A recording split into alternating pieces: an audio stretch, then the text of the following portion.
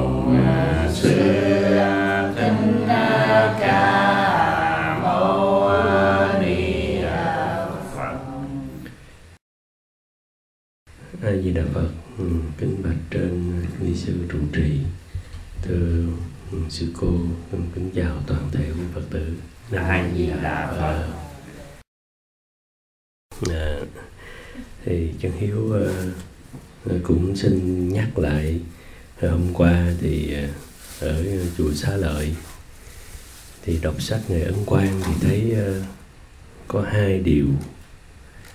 Thứ nhất ờ, là ngài dạy là phải dạy con nít. Ờ, thì nghe thì thấy bình thường quá tại sao ngài cứ nhắc nó dạy con nít hoài. Thì bây giờ học riết thì biết ngài thương chúng sanh lắm. Tại mình khổ là sanh con ra không có dạy, xong rồi cứ lo cho nó ăn rồi mặc rồi lớn lên lo cho nó thành tài, lập gia đình. Đó, lo như vậy đó. Thì đâu có dạy nhân quả báo ứng, thì nó đọa địa ngục rồi. Nó đọa rồi. Không dạy nhân quả nó làm ác thì cái chân nó lớn, nó làm ác khuyên không nổi. Tại vì mình ờ, cơ bản ờ, cơ bản Phật pháp, cơ bản làm ờ, làm người thiện, nó không có đủ. Cho nên là cái đứa nào nó có phước thì nó nó tự nó thiện. Còn nó không có phước lành đó thì không có sự dạy dỗ đàng hoàng thì thành ra là mình giết con của mình. Nên có nghĩa là con của mình sẽ đọa trong những cái đường ác sau này. Yeah. bởi vậy lo ăn, lo mặc, lo ờ, cuộc sống đó, cái đó là bổn phận nhưng mà phải lo cái ngày lâm chung nó đi đâu, cái đó mới là chính xác phải lo, tại vì mình sanh nó ra đâu có để cho nó đọa trong đường ác được. Mà muốn không có đọa đó, phải từ 5 tuổi mà dạy 4 năm tuổi mà dạy dạy à, nhân quả báo ứng, dạy cái cách làm người, cách xử thế, lại dạy làm ác thì à, sẽ gặp quả báo. Nó dạy cho tới lớn một chút thì văn sao của tổ đọc cho nó nghe, hoặc là bắt nó đọc cho mình nghe. Rồi mình giải thích dạy chừng 10 năm tới 15, 16 tuổi thì nó hiểu được. Đó là thương con. Rồi không không nở cho nó đi ba đường ác. Nếu nó có túc căn tốt nó sẽ vãng sanh. Nó làm bậc thánh bậc hiền. Đó là thứ nhất. Thứ hai là thí dụ người việt mình đó mà nhà nhà đều dạy con như thế. Người việt mình là người hạnh phúc nhất của, của nhân loại rồi. Nước việt nam mình là hạng nhất rồi tại ai cũng như vậy hết, người mẹ nào cũng như vậy hết. Thì đâu có ăn trộm ăn cướp nữa, hết rồi. Tại vì cái gốc ở đó cho nên người xưa sống yên bình lắm, là tại vì ờ, bồ tát, phật bồ tát, thánh nhân đầy khắp hết để mà hướng dẫn. Cho nên người bây giờ ừ, văn minh quá mà cái gốc đạo không có, cho nên hãy mà có một chút quyền hành liền, ác tâm nó liền tới khi nghèo khổ thì không gì chứ mà có quyền lực thì khó khăn dữ lắm. Rồi đọa thông minh là chết đọa. Cho nên là thương chúng sanh mà dạy dạy cái này thương chúng sanh lắm là ngài thương lắm. Này, có lẽ là thần thông ngài thấy đời sau người đã mất cái ờ, cái ờ, mất cái gốc đạo rồi chỉ đi vào ờ, văn minh thôi cho nên là xa đọa nhiều lắm. Người người bản sanh và người thiện lành càng ngày sẽ càng ít đi. Tại vì đâu có học nhân quả, cho nên khi mà có quyền thì ăn hiếp người ta có đâu có sao, có ăn hiếp người ta có quả báo gì đâu. Nên mình có có quyền mà hét ra lửa mà. Đó là tại vì cái gốc người mẹ không có học Phật pháp rồi không có biết sanh ra, không biết. Mà một đất nước như vậy thì con lớn lên là bị người mẹ ảnh hưởng nhiều nhất cho nên ngài dạy dạy con gái còn quan trọng hơn dạy con trai. Tại con gái thì sanh ra con mà người con bị người mẹ ảnh hưởng hầu như là rất rất nặng. Người cha thì không nhiều lắm đâu. Mẹ mình mà tốt thì, thì hiền từ thì khi mà mang thai đó thì nó ướp cái cái tánh tình của người mẹ vào. Như ngài nói là mang thai mà mình giận đó thì nó ướp cái giận vào con. Mình sân si mình buồn thì sanh ra đứa con nó cười không nổi nó là ảnh hưởng lớn tới như thế. Ờ, cho nên lúc mang thai đó thì ngài dạy có cái gì buồn khổ đừng cho cái người mang thai biết. Cái người chồng chịu hết dùm đi. Gánh hết để cho em bé nó được ờ, thấm nhuần cái sự an lạc ở, ở ở tâm linh người mẹ. Rồi người mẹ niệm bồ tát, niệm phật cho nhiều thì con sanh ra tai nạn liền tiêu trừ do cái cái công đức của người mẹ nó ướp ở trong cái thai đó. Nó nó quan trọng lắm. Đó là à, tuy nó có nhiều nạn nhưng mà do mẹ như vậy thì sanh ra nạn nó đã tan. Rồi lớn một chút 5 tuổi đó, dạy niệm Phật, niệm Bồ Tát. 5 tuổi là dạy rồi. Một ngày niệm vài chục câu, đó, rồi học văn sao đó. Nếu mà chúng ta học cái này, thì con cháu chúng ta đâu có vào ba ác đạo. Đó. Đó là nền tảng để mà cứu độ chúng sanh là ở chỗ này. Rồi đi xa hơn nữa, ngài nói là ờ, ờ, cái bí yếu tu đạo đó là ờ, chân thành cung kính. Nói như vậy. Bí quyết tu hành là mấy cái chữ này. Nếu như mà lòng thành đến cùng cực đó thì vàng với Ờ, đá nó cũng nứt luôn đó ừ, nó là cái tâm thành của con người cảm ứng tới chư Phật chư Bồ Tát mạnh lắm. Mà con người đó chỉ biết lực của mình không biết lực của Phật. Người nào sanh ra thì cũng biết là tự tin nơi mình làm cái gì cũng đem về mình chứ không biết lực bên ngoài. Cho nên khi tu thì niệm Phật không có cảm ứng. Tại vì biết mình thôi à cho nên niệm Phật thì mình với Đức Phật cách xa lắm tuy có niệm Phật mà thấy Ngài ở đâu xa, chẳng phải gần mình. Mà ngạn quan nó do không học giáo lý cho tới nơi, tới chốn. Không biết cái lực, gia trì và cái sức mạnh là vô lượng, vô biên. Ngài nói, sức, cái đức phật di đà, cái lực mà nhiếp thọ người niệm phật là không có thể dùng chữ mà có thể giải thích nổi cái sự vi diệu đó. Mà chúng sanh không biết, cứ biết sức của mình. Cho nên, tuy có niệm phật, thấy xa xa lạnh nhạt với phật quá. Tại vì học không tới. Chứ nếu mà biết niệm một cái, mình niệm là Phật nghe mà mà cái sự giá trị mà tin tưởng được rồi đó, thì niệm liền thấy cảm ứng. Phải học. Chứ mấy, không, niệm giống như bị ngăn cách vậy, lòng tin không đủ. Yeah. Nếu tin sâu thì say mê lắm, niệm phật say mê lắm học thêm nữa. Học thêm nữa là ờ, những cái ác trong tâm khó trừ vô cùng. Phải học nhiều lắm. Rồi mà ngày hôm quan học để bỏ chứ không phải học để lấy. Nó, nó khác người thường. Người thường học càng ngày biết càng nhiều. Học với ngày hôm quan càng ngày càng khờ.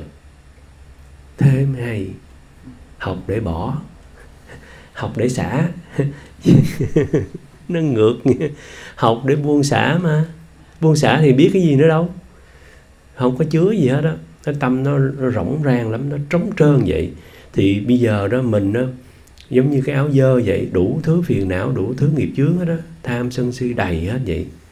Cái tiếng Phật hiệu trì lên nó khó khăn nhưng mà học tới một lúc thì tiếng Phật hiệu nó giữ vững rồi niềm tin sâu sâu xa không muốn đọa nữa tự thương lấy mình.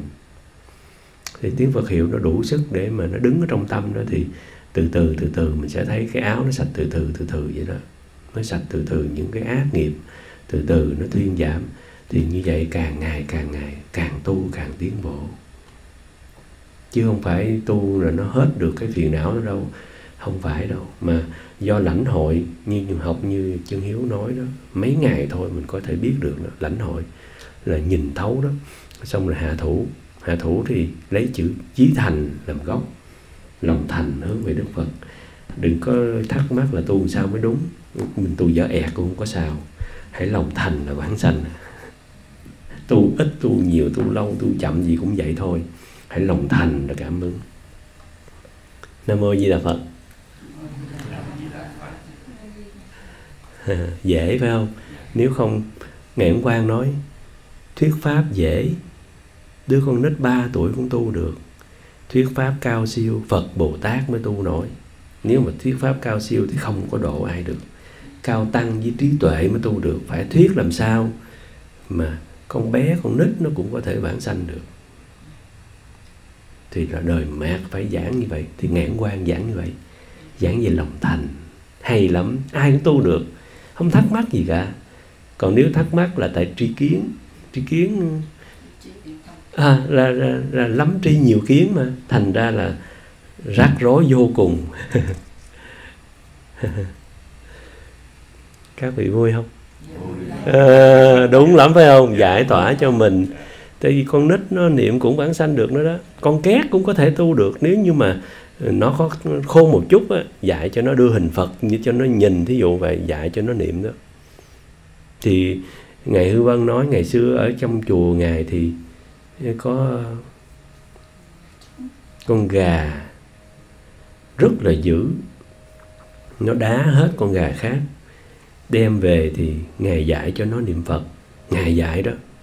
Thì nó nó ăn chay luôn, nó không ăn côn trùng luôn. Từ đó là nó kêu tiếng như phật vậy đó. Nó bay lên cây, nó giống như đọc ra tiếng phật. Thì có một hôm có bị cái con con chim lớn lắm, giống diều hâu vậy, bắt nó. Thì gấp nó đi lên trên không đó thì nó kêu tiếng phật không ngừng luôn. Rồi ngài nói, con người không bằng con vật, nhiều khi thua con vật con vật mà dạy cho nó mà tại vì ngài là bồ tát ngài dạy thì nó chắc nó biết được. Tới chừng mà lâm chung đó, nó tiêu, kêu phật không vậy đó. Nó niệm liên tục đó, không phải thường đâu. Nó là dạy cho con vật còn vãng sanh được, mình trí tuệ như thế này, đó, cho nên học được thì sẽ giải thoát được thôi. Đâu có đâu có ai dở đâu. Chứ không phải cao siêu đâu, cao siêu thì là cao tăng mới tu được lòng thành đến cùng cực đá vàng cũng nứt nữa. Họ giải như vậy. Giải lòng thành không thôi. Thật ít hơn là dối nhiều khéo quá chẳng bằng vụng.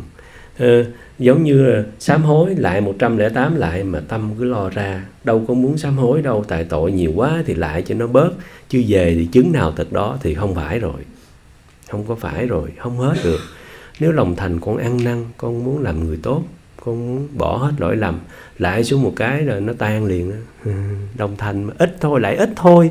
Mà kết quả nó như thế đó là ít nhưng mà nó nó là chân thành. Còn nếu mình giống như niệm phật niệm mấy chục năm vậy mà không có lòng thành niệm hoài phiền não hoài vậy không tiến bộ. Người ta niệm một hai năm rồi bản sanh mà. Ừ, tại tim người ta lãnh hội người ta muốn giải thoát rồi. Ừ, ông ông hoàng hàm chi giữ chức Ờ, đài đạo ở ninh ba và thiệu hưng phát tâm ăn chay trường, khuyên mẹ cũng nên ăn chay. Nhưng dọn thức ăn chay ra bà cụ ăn cơm thôi, không có ăn được đồ ăn. Hoàng hàm chi gửi thơ hỏi cho, hỏi tôi, phải làm phương cách nào? Quan dạy, ông hãy thay mẹ chí thành sám hối, thì để nghiệp tiêu thì cụ sẽ ăn chay được. Chưa đầy một tháng cụ ăn chay. Đó là người con. Chí thành đó, thì cảm ứng như thế. Người mẹ ăn không được, mà người con lòng thành niệm phật để mà giúp cho người mẹ liền có thể ăn chay. Đó là hoàng hàm chi đó. Con gái ông thích tắc châu 19 tuổi, hai mắt mất ánh sáng, đưa tay ngay trước mặt cũng chẳng thấy được. Gửi thư đến báo khi ấy ông ta ở tại Tam Thánh Đường trên núi Phổ Đà. Được tin liền vội về nhà, đưa đứa con gái sang Ni Am ở Hàng Châu. quan bảo, ông ta viết thư cho con gái, khuyên cô ta chí thành niệm thánh hiệu quán âm. Chưa đầy một tháng, cô đích thân viết thư báo tin, bệnh đã lành. Đó là con mắt sắp mù rồi đó. Đưa tay không thấy mà. Niệm Bồ Tát một tháng là hết. Không thể tưởng tượng mà là dùng chữ chí thành không, phải không nói tới, nói lui, nói hoài, nói vậy thôi. Cho nên là lật hết văn sao chỉ thấy như vậy đó. Dễ lắm đó, tu dễ lắm đó. Không khó đâu. Cho nên ừ, học cái này chân hiếu vui quá. Tại chân hiếu biết người người của chúng ta sẽ giải thoát được. Chứ nếu mà cao quá chắc không dám đem ra giảng đâu. Giảng người ta còn sợ hơn. Cao quá chắc phải chờ ngày ấn quang ra đời mới dám giảng. Mà cái này thấp lắm giảng thấp lắm mà thì thành ra là ai nghe cũng biết hết. Còn ngày xưa nhiều khi mình biết cách giảng giảng hồi người ta à, khó quá thầy ơi tu cũng nổi. Đó là tại người giảng sư không biết cách đó. Khó giảng xong người ta tu cũng được. Không biết làm sao khó quá hơi cố gắng vậy. Còn cái này không phải đâu cái này lòng thành. Cho nên là lòng thành tới cùng cực vàng với đá cũng nứt luôn. Một phụ nữ từ năm 16 tuổi bị bệnh khí đông. Bệnh khí đông là uh, trong bụng sanh ra hơi rồi cái nó xông lên ngực khiến đau đớn lắm. Đông y cho rằng bệnh do nguồn gốc ăn cái thức ăn lạnh trong mùa hè khiến tỳ vị bị tổn thương. Đó là cái bệnh mà cái hơi nó nó dâng lên thì đau đớn đau tới cùng cực luôn đau lắm đó. Thì cái cô này ờ, 16 tuổi thì bị bệnh mỗi ngày lên cơn hai ba lượt rồi lúc lên cơn đau gần muốn như mất mạng vậy đó. Năm nay đã là à, 56 tuổi là 16 bệnh tới 56 là bao nhiêu năm mà. bệnh 40 năm cái bệnh này. Năm nay 56 tuổi đến xin quy y quan dạy bà ta chí thành niệm quán âm. Đó là chí thành nữa, phải chí thành. Và cho một phương thuốc tức là toa cai thuốc viện ở trong bộ văn sao. Nhưng không thêm thuốc viện, bà ta liền sắc một liều. Vừa mới uống lần đầu đã không còn đau nữa. Chữa trị đủ, thầy lẫn thuốc suốt 41 năm Mà không sao dứt được căn bệnh dai dẳng ấy. Nay vừa uống thuốc có một lần, hoàn toàn bình phục. Trời ơi, uống có một lần thôi, hết bệnh nếu bà ta không chí thành niệm bồ tát, thì đâu có gặp được cái phương thuốc này. Đó là do chí thành mà hết bệnh. Bệnh 40 năm thì đâu có ai trị nổi nữa. Tại trị thì đâu có để lâu tới như vậy. Mà niệm bồ tát uống thuốc có một lần hết bệnh. Mà cái chuyện như vậy nhiều lắm, thì chân hiếu lựa đọc cho mình biết. Tai qua nạn khỏi, bệnh chướng tiêu trừ, thân tâm an lạc là chuyện đúng như vậy. Cuộc đời của chúng ta, phiền não, nghiệp chướng gì hết rồi là do chí thành chứ không phải là niệm nhiều mà được đâu, mà là lòng thành mới được. Niệm nhiều mà không có lòng thành, niệm lâu lắm cũng không có không có kết quả mấy đâu.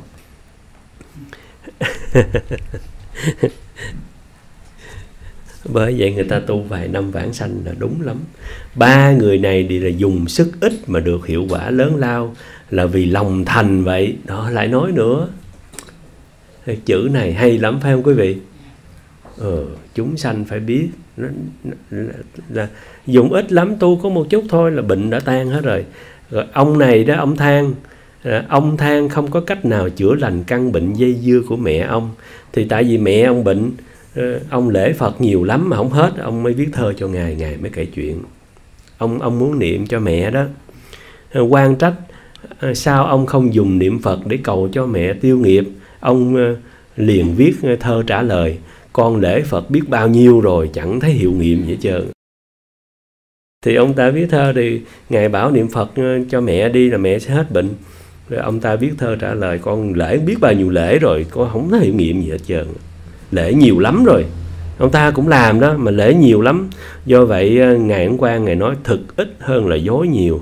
Nếu ông thật sự mà chân thật lễ bái trì tụng như thế, căn bệnh dây dưa mẹ ông chẳng lành quan sẽ bị mù mắt đó nói cho ông biết là nhất định là sẽ hết đó, mà tại ông không đủ lòng thành thôi.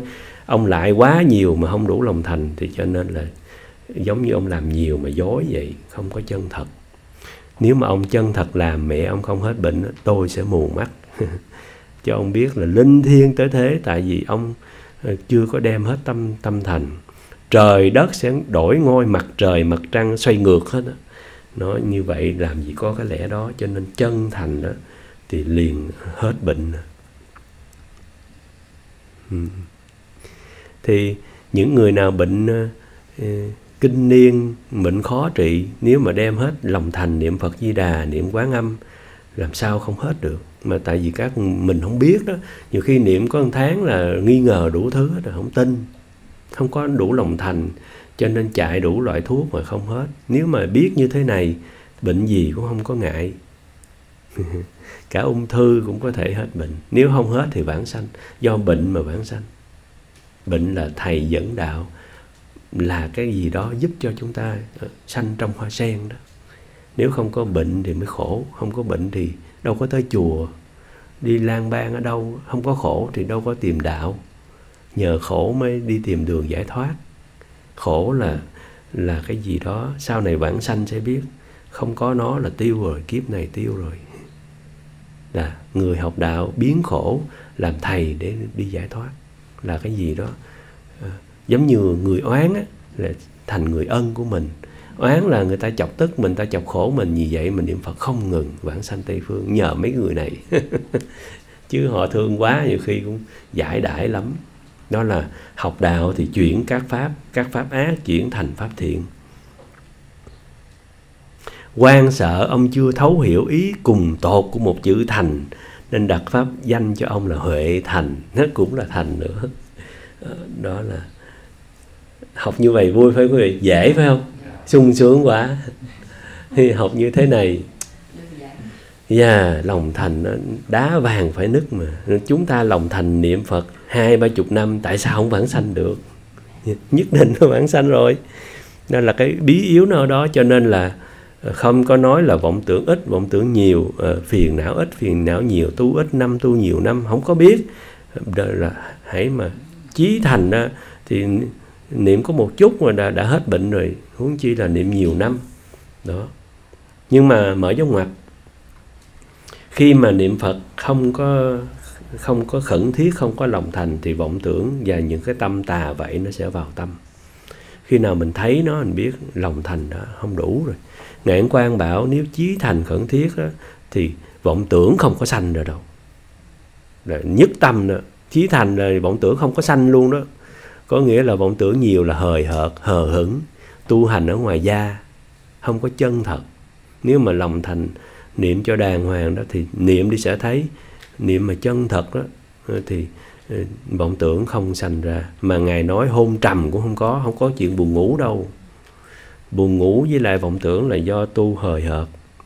Mà tu hời hợt là tại nhìn không thấu học đạo không hiểu. Chứ mình đâu có muốn hời hợt đâu mình cũng muốn giải thoát vậy. Nhưng mà cái sự hiểu không tới. Thành ra là ờ, lúc hạ thủ thì bị như thế. Chứ mà hiểu tới thì đâu có bị. À, ông đó à, dạy cho ông đặt tên ông là huệ thành. À, liền biết ông à, lòng thành của ông nằm trên ngọn bút, không phải nằm ở trong tâm. Ông viết sách thì thành tâm lắm, mà trong tâm thì không có thành gì hết. Trên ngòi bút thôi, cũng như mình tu trên trên cái miệng thôi ờ, ờ thế mới khổ. Tâm chẳng có tu được. Miệng thì tu giỏi quá trời. Đó là ừ, bởi vì mình mình nhìn mình mới thấy lỗi lầm lỗi lầm nhiều hết sức luôn, nhiều chịu không nổi. Mình chịu không nổi mình. Đúng là ngu quá trời. mình tu trên cái miệng. Và thì ngài nói nè, ông chỉ là có lòng thành trên ngòi bút thôi, chứ trong tâm đâu có thành. Nếu mà ở nơi tâm á, nếu ở nơi tâm trọn chẳng đến nỗi tu trì, như thế mà hoàn toàn không có lợi ích gì đâu.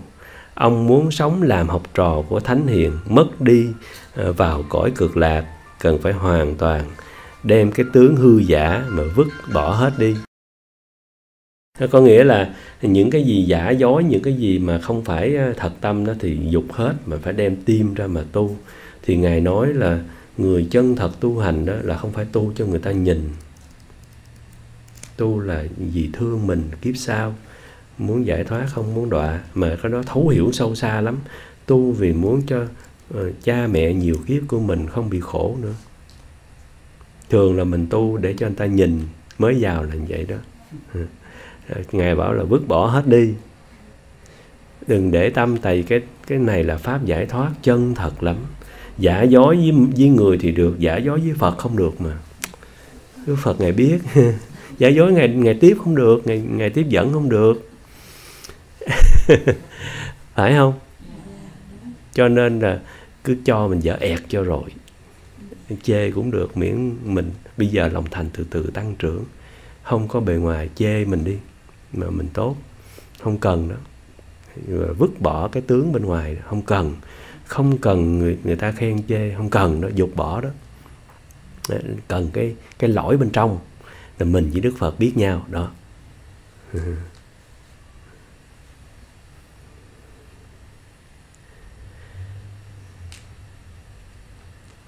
Dạ hết lá thơ này rồi. Giảng thư khác.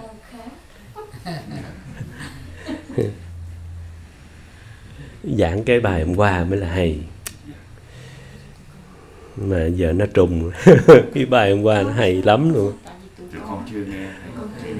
Hay lắm.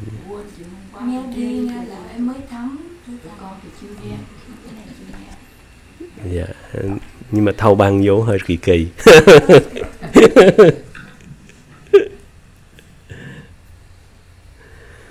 ờ, thời giảng bài hôm qua thì giảng này để đại đức ông tu cả đời ông chưa làm nổi nó khó vô cùng. Cái này là đi tới nơi tới chốn tu giống như vậy trăm người hết trăm người bản sanh luôn nếu mà tu theo cái này nó hay tới như vậy. Mình giảng rồi mới thấy lỗi lầm của mình nó đầy hết. Ừ, mình không chấp nhận nổi mình mình tệ quá. À, bệnh á, là do oán nghiệp đời trước đó.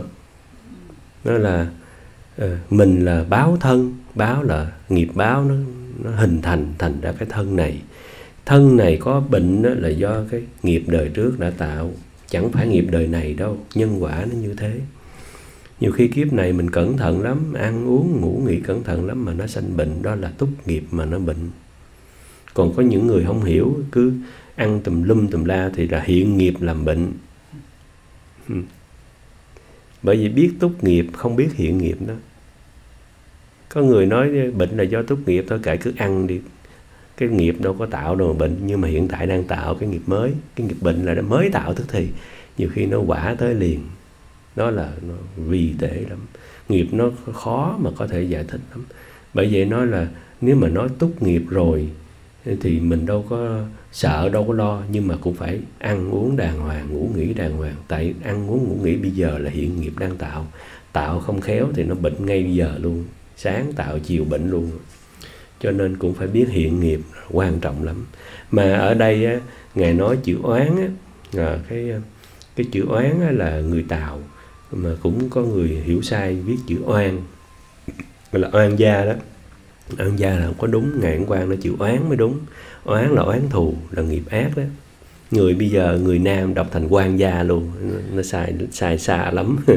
Nó là oán gia mới đúng bởi vì mình phục nguyện với đức phật là cầu nguyện cho quan gia mình trái chủ nó không phải là quan gia mà là oán gia trái chủ mới đúng.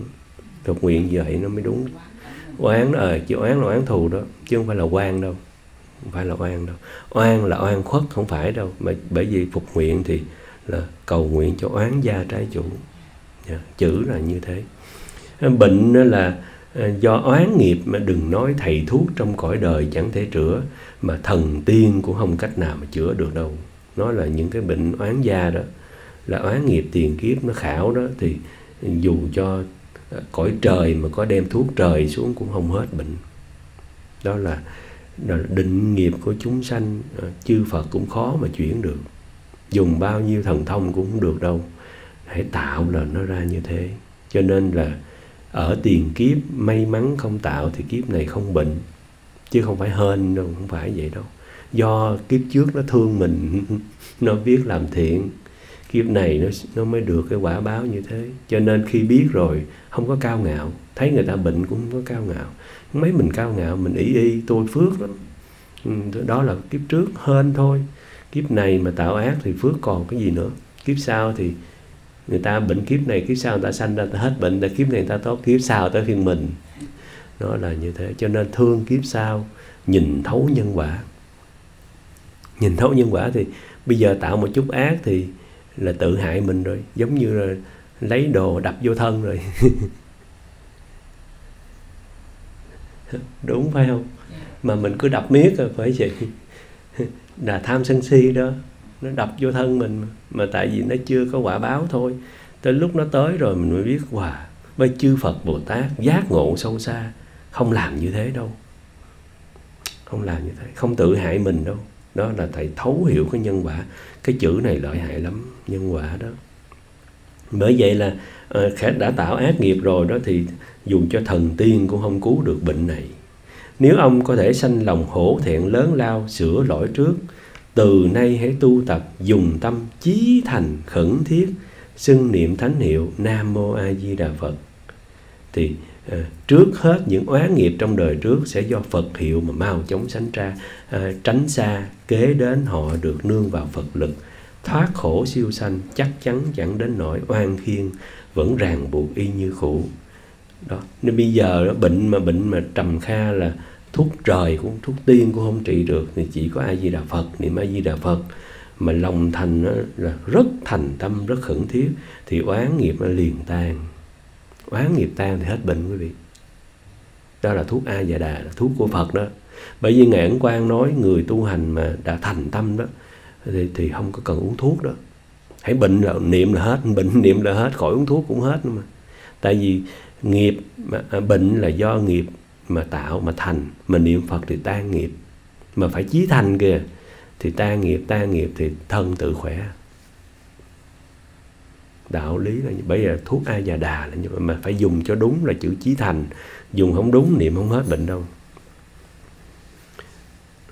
Nếu mà chí à, nếu tâm à, nhưng nếu tâm chẳng chí thành và sanh lòng sửa lỗi từ nay tu tập đừng làm các điều ác vâng làm các điều lành thì tâm của mình à, thì tâm của chính mình sẽ gần gũi với tâm của của quỷ thôi trái nghịch với Phật. Bởi vậy là muốn hết bệnh mà không sửa lỗi niệm Phật thì niệm mà ác thì cứ làm.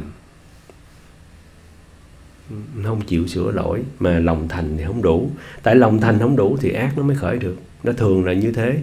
Cái này á, mình tu lâu lắm mới làm ra được đó từ tại vì ác tâm của mình nó cứ đầy hết trong đó mà lòng thành nó không đủ thì ác tâm nó vào. Ác tâm nó vào thì mình chỉ có tương ưng với loài quỷ loài ma thôi à, chứ không tương ưng với phật được. Tại vì ma quỷ nó mới có tham sân si. Cho nên là mình mình giống như cơ bản mình đã sai cho nên dù cho có tu mà không chịu sửa lỗi ác tâm như là tham sân si giận hờn quá tham lam quá đó. Thì thành ra là mình nghịch với đức phật. Dẫu có niệm phật cũng không có cảm ứng mấy đâu bệnh không hết. Cho nên là cái người vãng sanh là trông như gương vậy đó không có tỳ vết đâu. Muốn làm như thế cũng là do lòng thành mà ra. Mà lãnh hội sâu xa nhân quả không muốn mình khổ nữa thì ác nó đoạn hết. Và đoạn ác tu thiện đó khó gì lắm. Nhưng mà nếu làm được một phần á, là mình phá phỉ thêm phần.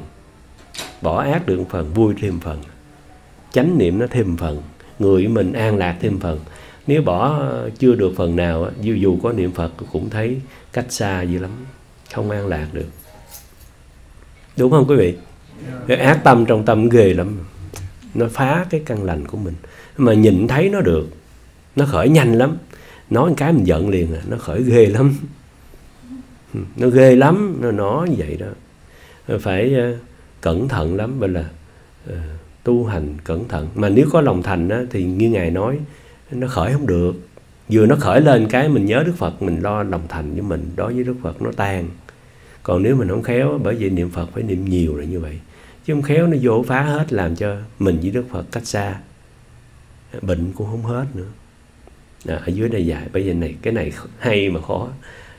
Khó nhưng mà hãy làm thì sẽ tiến bộ từng phần mình sẽ thấy được đó cái ác tâm trong người mình bớt bớt thì uh, mình vui à.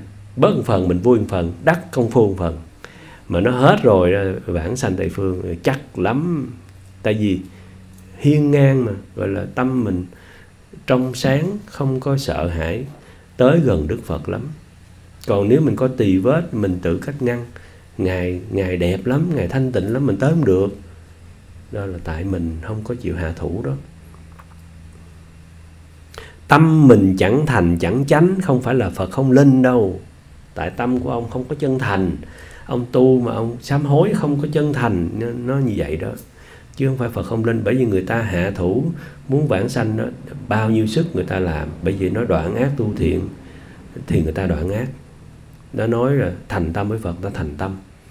Ác gì người ta cũng không để tâm nữa. Thì cái người như thế đó, mình nhìn đấy trong sạch lắm, mà thanh tịnh lắm không có phiền não đâu. Thì tu như thế tu ít thôi đã đã tương ưng với đức phật. Chứ làm ác không thì như chân hiếu nói ác là cái miệng bốn là ai cũng biết rồi. Đó thân thì ba ý là ba. Cái miệng thì người tu chúng ta chắc là giữ được hết rồi đâu có thị phi gì nữa. Còn thì phải phải tu bồ đề tâm mới bớt được. Thương thì bồ đề tâm đó, thương là không có phân biệt. Thấy người ta tàn tật người ta nghèo cùng ăn xin người ta xấu lắm cũng thương như là cái người giàu có. Thương như mẹ của mình vậy đó phải thương vậy đó. Không có phân biệt thì như vậy thì đâu có thị phi nữa. Cái người mà người ta xấu á mà thì bao nhiêu người chụm lại nói xấu người đó mình thương. Mình thương thì mình đối xử như cái người thanh tịnh vậy đó. Bồ đề tâm là vậy mà. Thì mình đâu có thị phi. Cho mình còn phân biệt ờ, người này tốt, mình tới gần mình chơi. Người này không tốt, mình không chơi. Cho nên mình mới bị thị phi đó. Còn người nào mình cũng thương hết thì mình là trung dung hết rồi. Người nào mình cũng thương hết. Giỏi mấy cũng thương, mà dở mấy cũng thương. Bình đẳng hết. Không phải là có tật hay cái gì rồi cái mình xa lánh đó. Mình cũng tới gần niềm nở cũng thương như vậy đó thì cái thị phi nó sẽ tan. Mà cái cái ác tâm nó sẽ tan mà mà bồ đề tâm nó mạnh lắm. Khi mà vì chúng sanh tu vãng sanh phẩm cao lắm. Nó mạnh lắm tại sức mạnh lắm. Đó là chư phật bồ tát dạy mà. Các ngài đều vậy hết à. Còn mình phân biệt quá cho nên thành ra là à, không giống. Um, có cái uh, cái uh, cái ông đó hỏi ngài ấn quang ở trong đạo tràng của con có cái ông nó giàu lắm, giàu nứt tường luôn niệm phật, đi niệm phật chịu khó lắm, mà có một cái không chịu bố thí à, có được không? Hỏi ngài ấn quang vậy đó. Ông giàu nứt tường ấy, không phải giàu thường đâu, mà chịu khó vào đạo tràng tu, mà nhất định không bố thí đồng cũng không bố thí luôn á. Thì tu vậy được không? Giảng sanh được không? Ngài ấn quang nói thì phải đọa ngạ quỷ trước rồi mới tính nói một cái mình sợ gần chết luôn. Tại vì ờ, à, bỏn sẻn à, à, tham tiền. Tham tiền kiểu như thế mà đòi bản sanh thì tiền nó đi trước phật rồi làm sao mà? Tại vì giàu tới nước tường mà đồng cũng chịu bố thí thì là tham tiền quá nặng rồi. Thì làm sao mà mà bản sanh được? Thì tham như thế thì là, là khí phần của ngạ quỷ. Ngạ quỷ nó tham vậy đó thì đọa ngạ quỷ xong rồi đó, thì cái tiếng Phật hiệu bây giờ nó mới tới. Lâu lắm nó mới tính vãng sanh. Bởi vì mình đọc, trời thần ơi, có tiền khổ tới thế, không có còn hơn. Có tiền đi vào ngạ quỷ, có làm gì? Thà là nghèo nghèo vậy, sướng quá. Có tiền chi mà khổ, bởi vì tham tiền. Mà có niệm phật đó, chứ không phải là thường đâu. Bởi vì là phước báo nguy hiểm. tạo phước mà không tu nguy hiểm quá trời. Đó là ngạ quỷ hết à. Thì cái ông đó là đoạn ngạ quỷ. Ngài nói mà nhất định là ngạ quỷ à, chứ không thoát được đâu. Thì khuyên ông ta nên bố thí đi bởi vì có tiền thì ừ, phải bố thí phải buông xả đi. Thì phật dạy thương lắm mới dạy bố thí là để trừ cái ngạ quỷ cho mình. Sợ anh đọa đó. Bởi vì tỳ kheo phật không cho giữ tiền. Trời ơi phật hay lắm. Trừ hết ngạ quỷ rồi làm sao đọa được? Đâu có tham nữa. Mà mình bây giờ tiền nhiều quá mà ờ, không khéo thì khí phận của ngạ quỷ mà. Sợ không? Tiền giàu nguy hiểm không? Là là phước đó. Tiền là phước mới có chứ không có phước. Tạo phước mới có tiền. Phước đó phải bản sanh phước đó đừng xài. Ngài nói có phước đừng hưởng. Có, có phước hưởng làm gì? Cứ chân chất mình niệm phật. Bởi vậy đang giàu có mà sống như người hoạn nạn ngài nói vậy mới hay. Đang giàu có mà uh, cơm đạm thanh bạc quần áo sơ sài. Đang giàu có đó mà sống như cái người mà nghèo cùng vậy. Cho nên khi mình nó nghèo một cái tu cũng giống như cha vậy. Nó giàu nó chuyển được mình nó nghèo nó chuyển được mình. Con chỉ biết cái thân này giả tạm lòng thành hướng về để vãng sanh còn ở đây giàu nghèo có thấm cái gì đâu cõi tây phương nó đẹp như vậy ở đây có nghĩa lý gì? Liền thấy là giàu cũng chẳng có cần hưởng. Có tiền biết xài cái gì đó giống vậy đó. À bố thí cúng dường phóng sanh làm việc tam bảo. Thì đâu có sao đó là phước báo mà phước đó đừng hưởng. Phước đó phải hồi hướng bản sanh. Hưởng là là ngạ quỷ rồi đó coi chừng nguy lắm. Mình đọc cái đó trời chết rồi thôi nghèo tốt hơn. Nghèo tốt quá.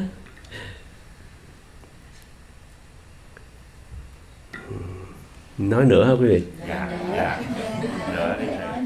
À. ông đã phát tứ hoàng thệ nguyện tu học lục độ. Đó ông này thì muốn giải thoát lắm.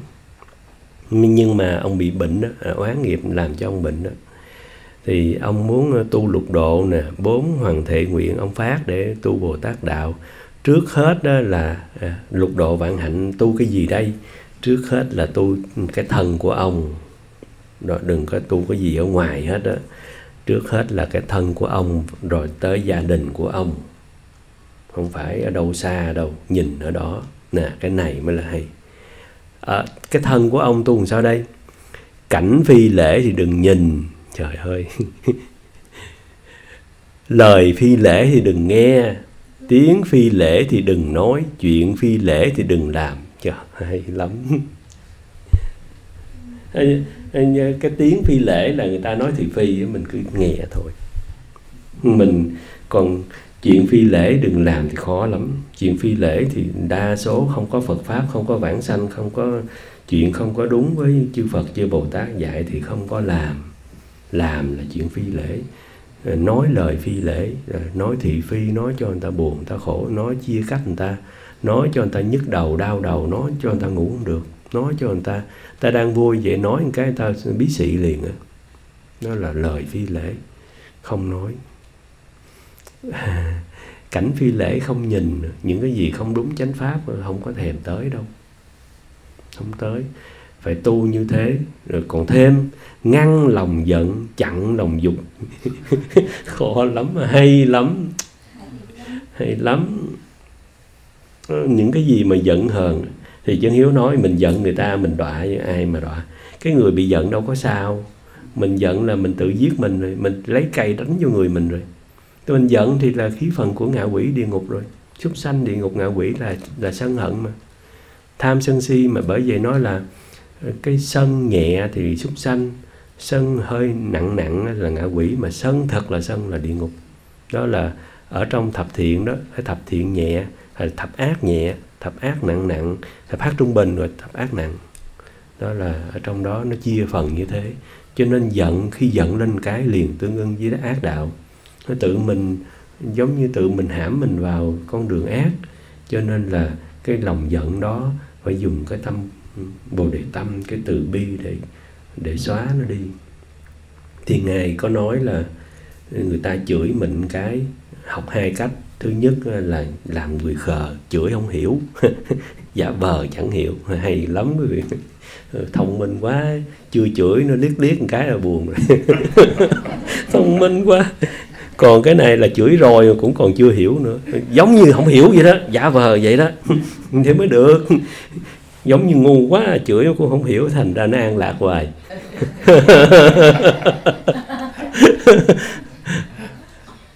Tại vì người khờ chửi chửi lắm cũng không hiểu phải cắt nghĩa làm sao mới hiểu, chứ chửi về chưa hiểu. Đó là như thế. Đó là một cái là học theo người khờ, không có lanh lẹ gì, chửi cũng không hiểu. Còn thí dụ như mà thêm nữa thì cứ nghĩ đó là giấc mơ.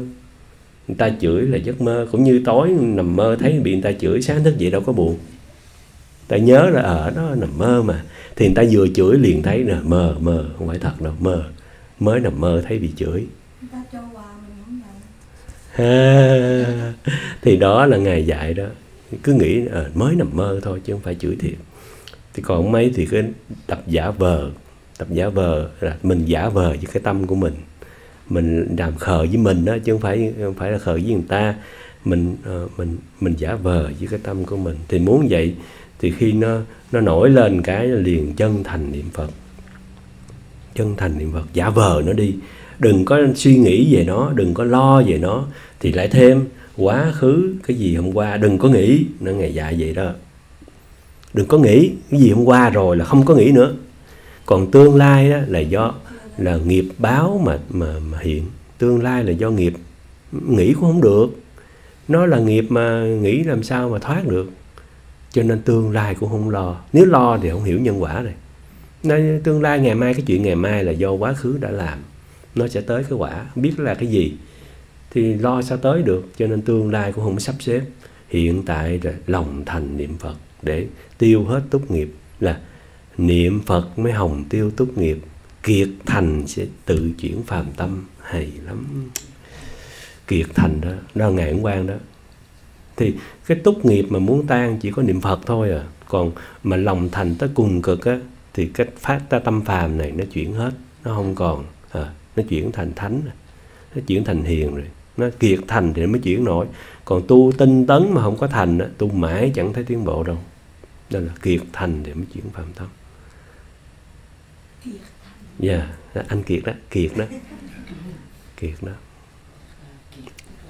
bao nhiêu sức lòng thành tới mức, tới ờ, tới cùng cực, lòng thành tới cùng cực đem hết tim đó ờ, ngăn lòng giận mà chặn lòng dục nữa. Những cái gì ham muốn ở thế gian liền đem ờ, ham muốn tây phương đổi nó. Mình lòng tham của mình mình thích tiền ở tây phương tốt hơn, thích vàng, tây phương đẹp hơn, vàng tây phương đẹp hơn. Cứ đem nó về tây phương mà thích.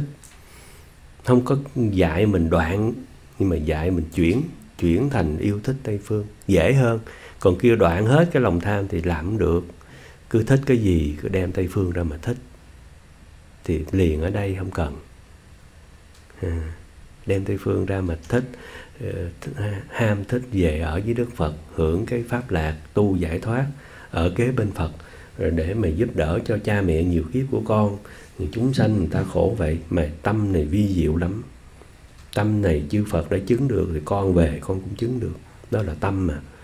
À, đánh đổ ham muốn sằng bậy của chính mình. Đó những cái gì mà ham muốn mà không đúng với chánh pháp ờ, đều dứt trừ hết. Tại ham cái đó thì sẽ mất chánh niệm sẽ tự hại mình thôi à. tu như vậy thì hết tỳ vết rồi phải không quý vị?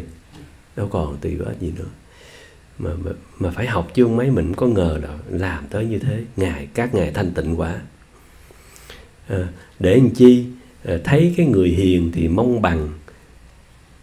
Có cái nghĩa là thấy người ta tu giỏi thì mong được bằng lại kính trọng thương mến chứ không có ganh tị đâu. Mà thấy cái người dở đó thì phản tỉnh chứ cũng không có chê cũng không có trách mà mà khinh thường người ta thấy người ta dở thì nhìn mình mình có dở vậy không? Thấy người ta giỏi thì nhìn mình mình có tu được vậy không? Cho nên người giỏi hơn mình, người dở hơn mình thường hệt, không có kẻ thù. Thì như vậy mới được. Chứ nếu có kẻ thù, có phân biệt thì nó phá cái tâm, phá cái sự thanh tịnh. Đi đâu cũng nhìn lỗi người ta. Nó khổ lắm khổ lắm. Đi đâu cũng thương người ta thì mới được. Mới tốt. Thì nó giải thoát rồi nó vui rồi còn cứ nhìn đó người ta làm cái gì chút là buồn liền. Tại mình cứ mong chúng sanh vậy vậy mong mỏi. Thành ra cái góc đạo là không phải vì mình mà cứ nhìn người ta. Đó tới chừng mình làm lỗi thì tha thứ mình tha thứ cho mình. Nó là nó nó lòng vòng cho nên là bồ đề tâm là cái gốc để mà, mà tu hành. À, trong gia đình đó thì đem hết tâm ra mà thương. Bổn phận của mình làm tròn hết. Hiếu thảo cha mẹ ở trên thì kính anh em ở dưới ở trên thì kính anh ở dưới thì nhường em. Rồi ở trong nhà rồi ở hàng xóm những người sống gần hay là những người đi chùa chung với mình đó những người chung quanh mình đối đãi hết sức chân thành. Là chân thành là, là chân hiếu nói đó là khi mình tới với người đó không vì người ta giàu hay là mình lợi dụng người ta mà tới. Mình không vì cái đó người ta nghèo mấy cũng vậy người ta giàu mấy cũng vậy thôi à là tim của mình đem tới, đó là chánh pháp, giúp đỡ nhau vãng sanh, mà thành còn kính nữa. Người ta dở ẹt cũng kính kính trọng lắm. Ừ, kính nó hay lắm. Kính như vậy thì phiền não mới tan. Nghiệp báo nó mới hết được. Chứ không kính nhau thì đang vui vẻ ừ, chơi với nhau thời gian cái ghét nhau. Tại vì không kính nhau được. Mà tại vì mình thấy lỗi người kia mình mới không kính. Bây giờ thấy lỗi cũng kính luôn thì hết rồi, hết bị rồi tại vì mình thấy giống mình mới chơi nhau mình thấy người, người, người đó tốt quá mình thương mến mình kính trọng. Tới thời gian mình thấy cái người này nhiều cái xấu quá cái hết kính hết kính cái thành ra là sức mẻ. Còn nếu mà người ta xấu mình kính luôn thì sức cái chỗ nào đâu. Đó là kính đó. Kính là không có không có tiêu chuẩn gì cả. Chúng sanh là kính trọng. Không có tiêu chuẩn là phải làm sao tôi mới kính được. Không có cái mức giới hạn. Thì thoát rồi chơi với ai cũng bền bỉ lắm bao nhiêu năm cũng như vậy thôi. Anh có xa ngã thế nào tôi cũng đối xử với anh như vậy cũng thương mến như ngày đầu vậy. À, là lòng thành với nhau. Để làm chi sống vài chục năm giúp nhau giải thoát mà. Chứ không mấy thành kết quan với nhau gặp nhau buồn thấy mù nhau buồn quá. Không biết sao giải tỏa đây trở lại ngày đầu cũng không được. Đó. Cho nên là quen nhau mà học theo đạo lý người ta bị sa sút thì còn thương hơn nữa, có nào có ghét đâu. Người ta lên tinh thần thì mình học theo, thì thành ra là hòa thuận. Đó là kính nhau mà mà dụng công đó, kính nhau ừ. Ờ. không có mang ý niệm khinh khi dối gạt nhau, lăng nhục nhau. Đó, người ta, bởi vậy nói là ăn mài, người mà xấu xa ở ngoài xã hội vẫn kính như người giàu có, người hiền từ, thì đâu có cái chuyện mà đối đãi ờ, khinh khi với nhau. Bởi vì bạn của mình tốt hay xấu đều như thế. Mình kính thương mà do cái cái lập thân cái chất liệu là tu giải thoát ở bên trong mới làm được. Không có không có cần uh, những cái gì ở thế gian bỏ hết rồi mới làm được. Còn mấy đó là là chúng ta sẽ ganh sẽ đủ thứ hết. Đó mà phải phải theo các ngài thì nhìn cái này sẽ thấy đó là mình đi vào cuộc đời sống như thế. Thì nói vậy phải cố gắng lâu lắm mới làm được đâu có phải dễ nhưng mà đạo lý là như vậy. Mình tiến tới. À, thương xót người ngu si. Đúng y chang à. Người ta dở là thương chứ không có trách. Dùng nhiều cách để mà khuyên bảo người ta niệm phật cầu vãng sanh. Nó ở trong thế giới xa bà khổ lắm lục đạo khổ lắm. Đó. Nếu không có tu thì không có ngày mà ngôi lên được đâu. Cứ bá đạo mà vào hoài thôi. Đó. Dạ hết à hết rồi. Không có tỳ vết đâu dạ.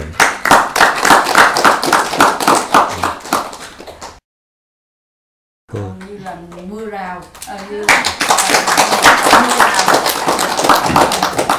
mưa rào. Hôm qua đó thì chân hiếu nhớ là ngài nói những người bệnh đó mà tâm không có dọn sạch sẽ không có thành tâm để ờ, dọn hết cái tâm thì bệnh khó lành đó là phải ờ, phải uh, uh, sửa lỗi lầm đó. Rồi thêm nữa là uh, cái người nóng nảy bợp chợp mà dễ giận dễ nóng thì bệnh khó hết dữ lắm. Phải điềm đạm thanh tịnh mới được.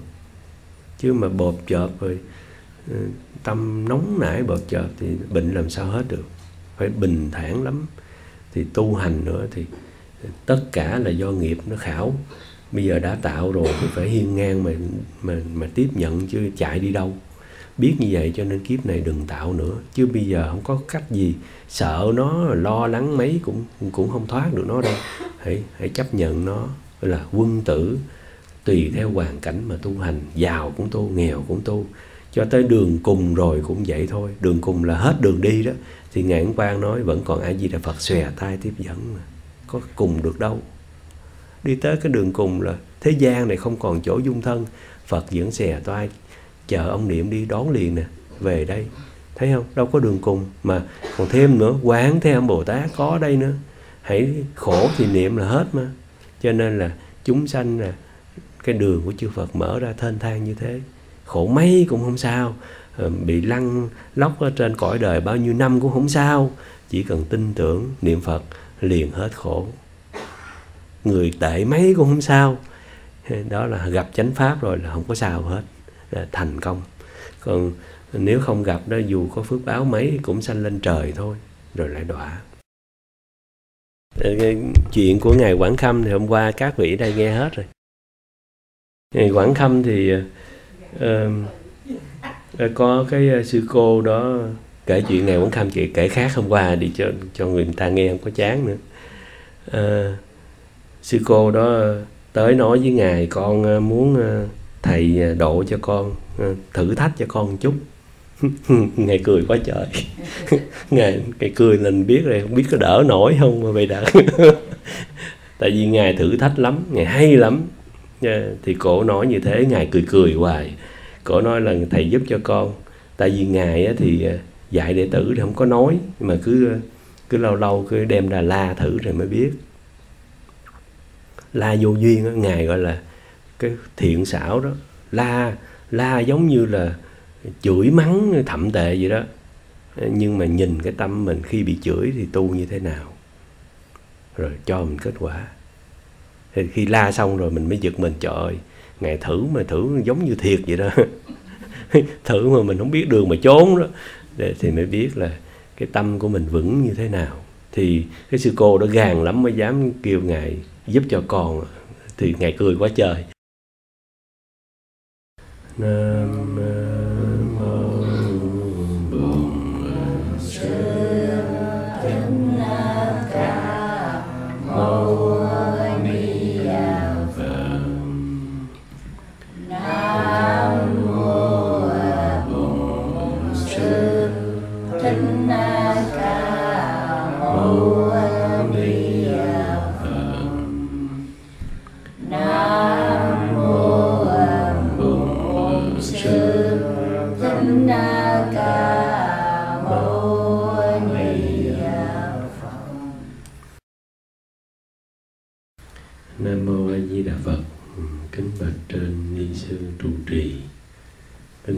sư cô kính chào thăng thệ với phật tử. Nam mô di đà phật.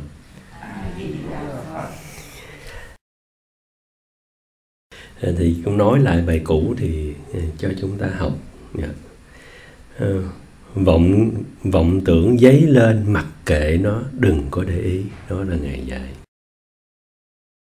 vọng tưởng nổi lên thí dụ mình đang niệm phật thì uh, suy nghĩ cái này suy nghĩ cái kia mà nhiều khi 10 năm cũng không biết sao mà trị được nó. Nếu mình không biết cách thì vậy đó. Tu tới 20 năm giống như chàng vậy. Là tại vì mình tìm cách trị nó cho nên nó mới bị như thế.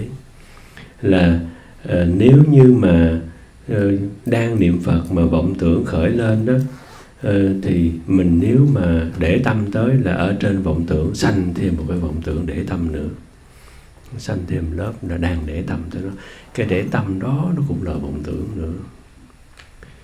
Là tăng thêm sâu một phần nữa. Giống như là uh, ngài nói như là con nít đó. Uh, nó phá cái này phá cái kia. Đó. Mà nếu người lớn không có ngó ngàng tới đó, thì nó không làm sao mà nó nó phá người lớn được. Đó. Mình cứ làm lơ nó thì sẽ thanh tịnh còn nếu mà mình dùng biện pháp cứng rắn để mình trấn áp nó thì nó cũng dùng cách cứng rắn để mà nó đối phó với mình. Còn mình dùng biện pháp mềm mỏng mà với nó thì nó tưởng mình sợ nó còn quyết liệt hơn nữa. Có nghĩa là để tâm tới là thất bại. Biết tới là thất bại. Dùng biện pháp tới là thất bại. Đó. Thì ngài nói đó chỉ chỉ là à, à, không thấy không nghe. Làm làm giả vờ như không thấy không nghe nó vậy đó giả vờ đó. Thì hồi sáng chị Hiếu cũng có nói ờ, hôm, hôm qua cũng ở chùa xá lợi cũng nói cái này giả vờ rồi hay quá cái chữ xài như thế mới hiểu. Chứ ờ, mặc kệ đừng có nghĩ tới đó thì mình cũng chưa có hiểu được sâu đâu. Giả vờ đó nó khởi lên giống như không có khởi vậy đó. Giả vờ đừng biết tới. Ờ, giả vờ thì, ừ, ừ, giống như đang niệm phật cái vọng tưởng nó chen vô thì làm như là đang thanh tịnh đừng có để tâm. Thì đâu có rối loạn được mình. Nhưng mà ờ, phải có lòng thành. Dạ. Phải có cái tâm thành ờ, sẵn sàng một lòng tu hành thì mới được. Chứ nếu mà không có tâm thành đó thì giả vờ cũng không được đâu phải có lòng thành để mà có cái cái cơ bản hạ thủ đã có rồi, giả vờ mới được. Chứ không mấy, không làm sao mà giả vờ được cái nó đâu. Nó quậy dữ lắm. Tại cái lòng thành của mình, nó vững rồi thì học cái này. Nó khởi lên, không có biết tới. Không có để tâm một chút nào. Nó nó mạnh, nó yếu, nó nhiều, nó ít. Cứ hệ tim của con và cái tiếng Phật hiệu con nghe còn rõ ràng lắm. Mà con hướng về Phật chân thành lắm. Thì một hồi nó đi đâu không mất tiêu nếu mà tiếng Phật hiệu giữ được chừng 10 phút trở lên thì sâu lắm, đi xa lắm. 10 phút là xa lắm rồi đó. Là ở trong chánh niệm là cái miệng cười liền đó. Tại vì cái cái chánh niệm vững như thế thì ờ, thân tâm liền bình yên, không có lo nghĩ. Còn nếu mấy thì thấy vọng tưởng nhiều quá, khổ tâm quá, cứ để ý tới nó, không biết cách làm lơ nó. Thì cái này, đạo lý này là cũng giảng, phiền não cũng làm lơ nó. Buồn vui gì của con người tới với mình, giả vờ như chẳng biết gì. Thì ngài bảo mà, giống như nằm mơ vậy thì nó qua liền thôi. Tự vì cứ để tâm chấp trước, giống như giận ai, ghét ai, cứ để tâm trong đó cho nên nó không tan. Giả vờ như chưa từng giận vậy. Giống người khờ khờ vậy, hết liền hay lắm. Giả vờ học giả vờ. Ờ, không thấy không giống như không biết gì đó. Giống như người ta chửi mà không hiểu gì đó giống vậy đó. Không biết người ta đang chửi gì đó. Rồi giả vờ đó. Phiền não giống như không biết nó là phiền não gì đó. Giả vờ đó. Thì lòng thành trang chứa. Thì ờ, có một đoạn ngài ấn quang nói người mà vãng sanh đó thì giữ cái tính nguyện vững lắm. Nên là từ sáng tới tối cái tâm cầu vãng sanh không có tan đâu. Là, là vững rồi tu vững rồi đó. Mình tu chưa vững là quên trước quên sau rồi chưa có vững. Mà cái tâm cầu vãng sanh đã vững rồi là tính nguyện vững rồi thì quyết định vãng sanh. Nên là ờ, từ sáng tới tối tâm cầu giải thoát không tan. Nên nó cứ nó gắn chặt ở trong tim của mình đó. Thì cái tâm đó vững vàng thì là người tu vững vàng. Nhưng mình nhiều khi mình ờ, ờ, lo cái này, cái mình quên đức phật quên tây phương rồi, quên lòng thành hết là không có vững. Vẫn là thời thời khắc khắc đều giữ được. Thì con vị đó nói với ngài quan là con bận lắm đâu có tu được vậy. Con nhiều việc quá, thì làm sao? Đó. Ngạn quan nói cái lời của ông nói do, giống như là nghe thì có lý, sự thật là vô lý lắm. Tại vì ở trên đời có những cái phiền não hay những cái việc gì mình lo lắng mà nó, nó sâu đậm đó thì mình bận mấy cũng không có quên được việc đó. Có thể đi vào giấc mơ nữa kìa. Thế thì cái chuyện niệm phật mà quên trước quên sau là tại vì ông chưa có đặt cái chuyện tu hành là quan trọng. Thì ông lại viện lý do. Đó viện lý do. Thí dụ như người ta làm ông phiền não ông viện lý do đâu được? Phiền não đem vô hãng nó cũng vô tới nè. Đem đi đâu nó cũng dính ở trong thân tâm mình thì tiếng Phật hiệu cũng giống như vậy. Tâm cầu giải thoát mà nó sâu đậm đó thì bận mấy cũng không tan được đâu. Nó là đạo lý là tại vì chưa có chân thành tới mức thì thành ra thấy như là cái công việc thế gian nó cản trở đường tu. Nếu mà lòng thành tới mức thì thấy muốn buông cái cái cái cầu vãng sanh buông chẳng được nó mà nó dính chặt ở trong thì việc gì mà cản được? À, hay lắm không? Mà tu tới vững như vậy thì giấc mơ cũng không cản được ông nữa. Nó vào luôn cả cái giấc ngủ ông luôn nữa.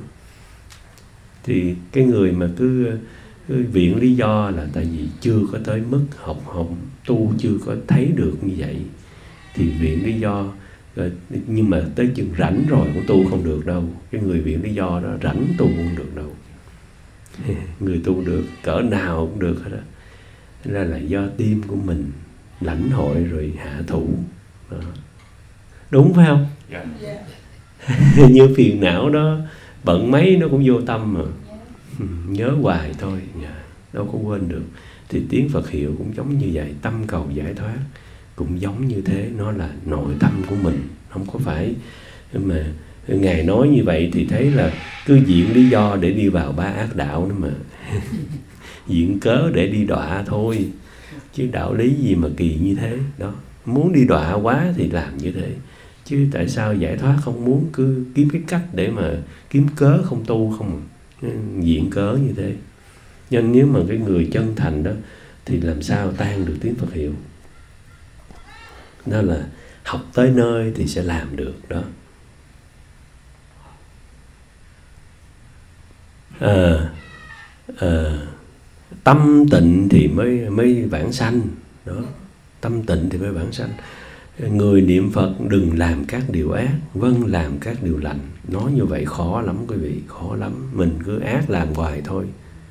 Ác làm hoài thì tâm nó không tịnh được. Bởi vì ác phải bỏ. Vì muốn giải thoát quá và thương cái thân đời sau quá mới bỏ nổi nó. Nên mỗi lần làm ác giống như lấy cây búa đập vô người một lần vậy đó. Mà đó là nhẹ đó. Quả báo nó nặng hơn vậy mỗi lần làm ác giống như tự hành hạ mình đó. Thì nghĩ sâu xa thì không làm ác, mà không làm ác thì tâm mới thanh tịnh được. Ừ. Không làm ác, tâm nó thanh tịnh lắm. Nó ờ, không sợ hãi mà. Nó không có vấn đề gì để lo nghĩ một mực là về tây phương. Nếu người thế gian thật sự có lòng tín nguyện, sẽ đều có thể vãng sanh huống chi là thánh nhân là hãy người nào có lòng tin chân thật mà cái nguyện thiết là nghe, lúc nào cũng là cái tâm vững chắc như thế đó giữ vững lắm cái tâm cầu giải thoát giữ vững lắm. Sáng trưa trưa chiều gì cũng là nội tâm vững như vậy đó. À, chẳng tu thân mà niệm phật thì cũng có lợi ích nhưng quyết định vãng sanh thì trong trăm ngàn vạn người khó được một người thân này không tu cho đàng hoàng thì đừng có nói vãng sanh khó dữ lắm. Là chưa ác mà chưa bỏ nó thì khó dữ lắm. Tu thân là như vậy mà.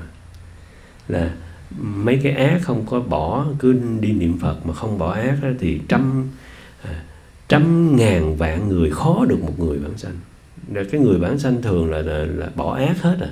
Không có thị phi không có không có lo cái gì nhiều đâu. Cứ thành tâm chân chất giống như khờ khờ vậy đó không có làm ai buồn đâu. Chân thành ngày đêm. Thì như vậy chứ mà tu thân không tu cho đàng hoàng, thì nó chướng ngại hết rồi. Vãng sanh sao được? Tại vì thân mà không tu thì phiền não nó dấy lên hết mọi nơi vậy. Tâm sao thanh tịnh được? Cho nên niệm phật cũng không chuyên cần. Bởi vậy đó là hãy tính nguyện sâu thiết đó, mà chân thành rồi thì ác nó không vào tâm. Ác nó không vào tâm thì nó tự nó thanh tịnh. Mà không có lòng chân thành tính nguyện thì ác nó vào tâm trừ khó dữ lắm. Bây giờ gốc là lòng thành mới có thể giải thoát được. Không phải trừ ác là bỏ từng cái đâu mà lấy cái lòng thành để tu. Thì khi mà lòng thành đó hướng về đức phật á, thì muốn ghét người ta muốn chửi người ta cũng không làm được đâu. Mình có lòng thành thì sẽ thấy. Điều này đó là tim của mình đó. Nhưng mình đang chắp tay hướng về phật thì chửi người ta không được đâu bỏ tay ra rồi mới chửi được phải không? Đó đạo lý là lòng thành đó ờ, chứ chứ bây giờ mà không có lòng thành mà muốn đoạn ác lòng không được đâu làm không nổi đâu. Bây giờ ngày đêm đều tu hành tự nhiên các ác nó xa lìa là nghiệp chướng nó tự tan là như thế. Thì thành ra người thanh tịnh hồi nào mà không hay được. Mà cũng không chấp là thanh tịnh đâu chấp là thanh tịnh cũng không, không thanh tịnh được đâu. Cứ bình thường vậy tu thì lại Phật tiếp dẫn hồi nào mà không biết. Cứ chân chất mà hành, một ngày sáng dậy, tiếng Phật hiệu rành rẽ, giữ cái tâm dậy tới tối, cười hè hè vui quá vui quá. Giờ chờ chờ thế tôn tới. Ừ, các việc thế gian đều theo cái nhân quả của nó mà nó lưu chuyển. Mình mình thì cứ giữ đứng cái chỗ tu hành, còn nó nó nó xoay vòng vòng vậy, thiện ác nó xoay vòng vòng vậy đó có lúc vui có lúc buồn đời nó thăng trầm nó thay đổi. Nhiều khi nó thịnh nhiều khi nó suy nhưng mà tấm lòng của con không có thịnh suy đâu. Ngày nào con cũng là cái ngày làm người khờ để cầu vãng sanh đó. Thì ác nó đoạn hết rồi còn lanh lẹ quá mới là khổ. Lanh lẹ quá thì nó khó dữ lắm đó. Cho nên tu thân đó, thì tâm mới thanh tịnh được. Còn không tu đàng hoàng thì trăm ngàn người cũng khó mà được một người. Ừ, hồi sáng, hồi trưa thì chân hiếu có đọc một đoạn ngài nói cái người mất mà được hộ niệm thì cái cái cơ hội vãng sanh cao lắm. Đọc vậy mừng quá. Nhiều khi ta tu chưa có được đúng ừ, Phật chưa tiếp dẫn mà cái ban trợ niệm quá quan trọng. Ngài nói là niệm mãi cho tới họ mất. Ừ, ngài nói là ba tiếng đồng hồ đừng có đụng thân. Nhưng mà Ngài nói như vậy để cho những người mà quá gấp đi Không có thể nào mà chờ nổi thì Ngài mới nói như thế Chứ Ngài nói đúng ra là phải ba ngày mới đúng. Thì mình đây là 8 tới 12 tiếng thì là, là tốt rồi đó. Mà nếu mà à, người xưa mình ta biết là để ba ngày mới đi tắm rửa thì như vậy để hộ niệm. Còn người bây giờ ngày nói gấp quá nói 8 tiếng mà làm không nổi ngày, ngày cho 3 tiếng. Nhưng 3 tiếng thì ngày nói không có đúng pháp đâu thường là 8 tới 12 họ niệm là vậy mà cứ để đó nằm đừng đụng chạm đừng có đụng gì cả. Cứ ban trợ niệm thành tâm thì cái cơ hội bản sanh nhiều lắm. Chúng sanh tu dở quá bởi vì ban hộ niệm rất quan trọng rất quan trọng. Nghe pháp vui ha quý vị? Nghe nó ờ, ờ, tâm nó thoát á nó, nếu mà lãnh hội được là nó thoát đó nó, nó có đường để giải thoát đó. Lãnh hội. Dạ. Nam mô di đà phật. Niệm phật chẳng hôn trầm thì sẽ tán loạn. Đó thường là mình là vậy đó. Không buồn ngủ thì là suy nghĩ à. hai cái đó. Đó là gì hiện tượng cái tâm niệm phật hời hợt hờ hững niệm cho qua ngày cho xong chứ không phải là chân tu thật sự. Không phải muốn cầu giải thoát không thấy được, không có chánh lý, không có nhìn thấu được. Cứ niệm cho qua ngày thì các thầy, các phật, bồ tát dạy niệm thì con cứ niệm.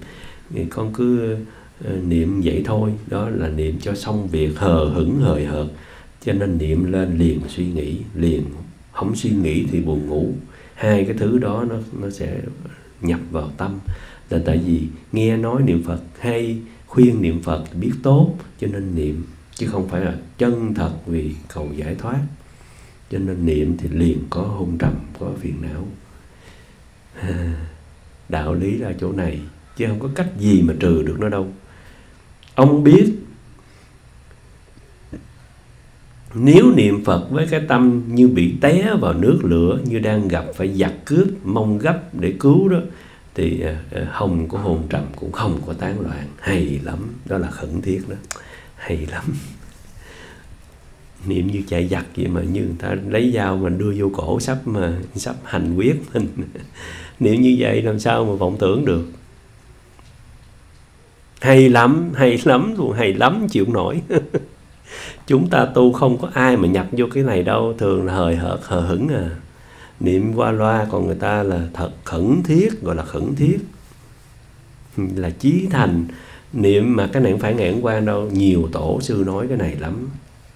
Nói về phương pháp tu trì nói cái này nói như chạy giặc như cứu lửa cháy đầu đó. Nói cái này nhiều lắm mà các các bồ tát đều niệm như thế. Chúng sanh mình tưởng là giỏi cứ niệm hời hời hời hợt đó cho nên vọng tưởng hôn trầm cả ngày. Còn niệm như cứu lửa cháy đầu đó thì, thì có một lá thư ở chùa Xá Lợi đó thì chân hiếu cũng đọc đó. À, thường tưởng tới địa ngục thì ờ, mới thoát được sanh tử đó. Ờ, nghĩ tới nỗi khổ địa ngục phát tâm bồ đề đó, thì ngạn quan nói đó, người bây giờ đó kêu họ nghĩ tới địa ngục, họ nghĩ không có được, họ không có sợ. Họ có nghĩ cũng không biết đường đâu sợ nữa, cái tâm nó yếu thế thế đó. Thì ngài nói ra cứ tưởng tượng đi ờ, mình là hai bên đang đánh nhau người ta cầm súng bắn, đùng đùng đùng đùng ở trên ở trên thì máy bay nó thả bơm, còn ở dưới mìn thì nó nổ, thịt xương mình nó văng tung ra hết như vậy. Thì mà nghĩ vào cảnh giới đó sẽ biết cái khổ nó tới giường nào thì tiếng Phật hiệu nó tự phần mình. Đó là đặt vào hoàn cảnh nó khó như vậy. Mà ngài nói đó, thịt xương mà nó văng vậy đó, thì cũng là cái nỗi khổ đó so với địa ngục là một trăm trăm ngàn vạn ước phần vậy đó. Địa ngục nó gấp biết bao nhiêu khổ lên đó mà cái này thịt xương mà văng như thế, mình coi nó khổ cỡ nào. Giống người ta lấy dao mà cắt tay cái coi nó khổ biết bao nhiêu. Mà ngài nói cái đó không thấm gì với địa ngục đâu. Địa ngục nó là gấp vạn vạn vạn lần khổ. Mà ờ, Phật thương lắm, nói là thường nhớ nghĩ nó thì cái tiếng Phật hiệu sẽ khẩn thiết đó. Mà chúng ta chẳng nghĩ được, cho nên đó là thường nghĩ vô thường. Nó dạy dễ á, nghĩ một chút nữa chết. Nó dễ hơn rồi đó. Hay là cái mạng này như tơ mành vậy, chết thì sẽ đọa. Thì nghĩ nghĩ cho sâu một chút. Tiếng Phật hiệu hết hồn trầm, hết hết có buồn ngủ, hết có tán loạn luôn. Mà rất là phân minh vậy. Niệm để cứu mạng mà. Niệm để cứu cái mạng này mà. Đó là phương pháp tu trì đó. Đi sâu hơn một chút nữa đó là phương pháp tu trì. Cái đó là khẩn thiết. Hồi sáng mình học chí thành, còn cái này là khẩn thiết dạ học như vậy đủ rồi đó. Phải không? Đó, hồi sáng là chí thành đó, bây giờ là khẩn thiết khẩn thiết là như thế. Thì như vậy thì, nếu khẩn thiết như vậy thì phiền não ờ, hôn trầm sao mà tới? Thì ờ, ngài quan nói cái người mà tạo tội ngũ nghịch thập ác mà lúc lâm chung đó, thì ờ, như là cái người mà bị bị bị bị xa vào cái cái cái cái chỗ mà lửa nó đốt toàn thân đó, thì niệm Phật đâu có sanh nghi, cũng đâu có giờ để mà sanh nghi một lòng thành tâm cho nên cái tiếng Phật hiệu đó niệm vài câu là vãng sanh. Tại vì không có giờ để mà sanh ra. Vọng tưởng phiền não không sanh được. Đó, nhất tâm bất loạn đó. Tại vì cái lúc đó nó gấp lắm. Đó là cái khổ nó tới nơi rồi. Còn mình chưa có thấy khổ cho nên niệm hời hợt hờ hững. Thì cái đạo lý như thế chẳng phải có cách gì mà trừ phiền não được đâu. Do tâm lãnh hội và khẩn thiết tu trì tu như cú lửa cháy đầu vậy đó tu như vậy thì ừ, đâu có lo cái gì khác được. Thư trả lời Huệ không đại sư, Dân quốc 25 1936 Chiều hôm qua nhận được thư sư Đối với chuyện sư đến chùa báo quốc quan hoàn toàn quên khuấy. Đọc thư sư gửi đến, thấy vẫn còn lấy tri kiến tông môn làm chủ, Đối với pháp môn tịnh độ vẫn chưa hoàn toàn tin tưởng. Do vậy chỉ cầu tương ứng đến nỗi ma cảnh giấy lên. Pháp môn niệm Phật dùng tính nguyện làm tiên phong Nếu không có lòng tin chân thật nguyện thiết tha. Đừng nói không tương ứng chẳng thể vãng sanh Dù có tương ứng cũng chẳng thể quyết định vãng sanh được. À, Để chân Hiếu giải thích. Là cái ông này ông ông học tịnh tông ông chấp cái câu là phải niệm cho tới tương ưng thì mới vãng sanh. Ông chấp cái câu đó mà cái câu đó là ở trong sách dở chứ không phải thường đâu. Niệm cho tới tương ưng đó.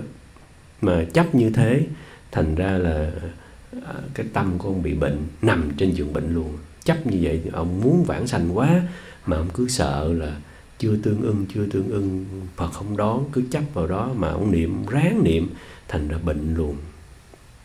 Tại ông muốn vãng sanh quá mà bị cái câu đó nó chướng ông. ông ông muốn quá mà ông sợ không đủ ông đủ tương ưng đó. Ông sợ là không thua ông không đủ. Cho nên ông làm quá thành bệnh luôn. Là tâm thân tâm bất an hết. À, thì ngài nói mà nếu mà không có tính nguyện sâu thiết dù có tương ứng của bản sanh đâu đừng chấp nơi tương ứng mà phải có lòng chân thật. Là lòng thành phải đầy đủ mới được. Ông chấp cái đó là ông chết rồi. Cho nên người tu thường chấp là phải nhất tâm bất loạn phải niệm tới không niệm tự niệm phải niệm cái đó là nguy hiểm. Tại chấp trước nếu làm không được thì nó sanh nghi. Sanh nghi thì nó tâm bệnh đưa tới thân bệnh nằm trên giường luôn. Cứ thành tâm chân chất tu phẩm sen để Phật sắp không có lo đâu. Còn nếu mà chấp như thế đó thì nó sanh bệnh.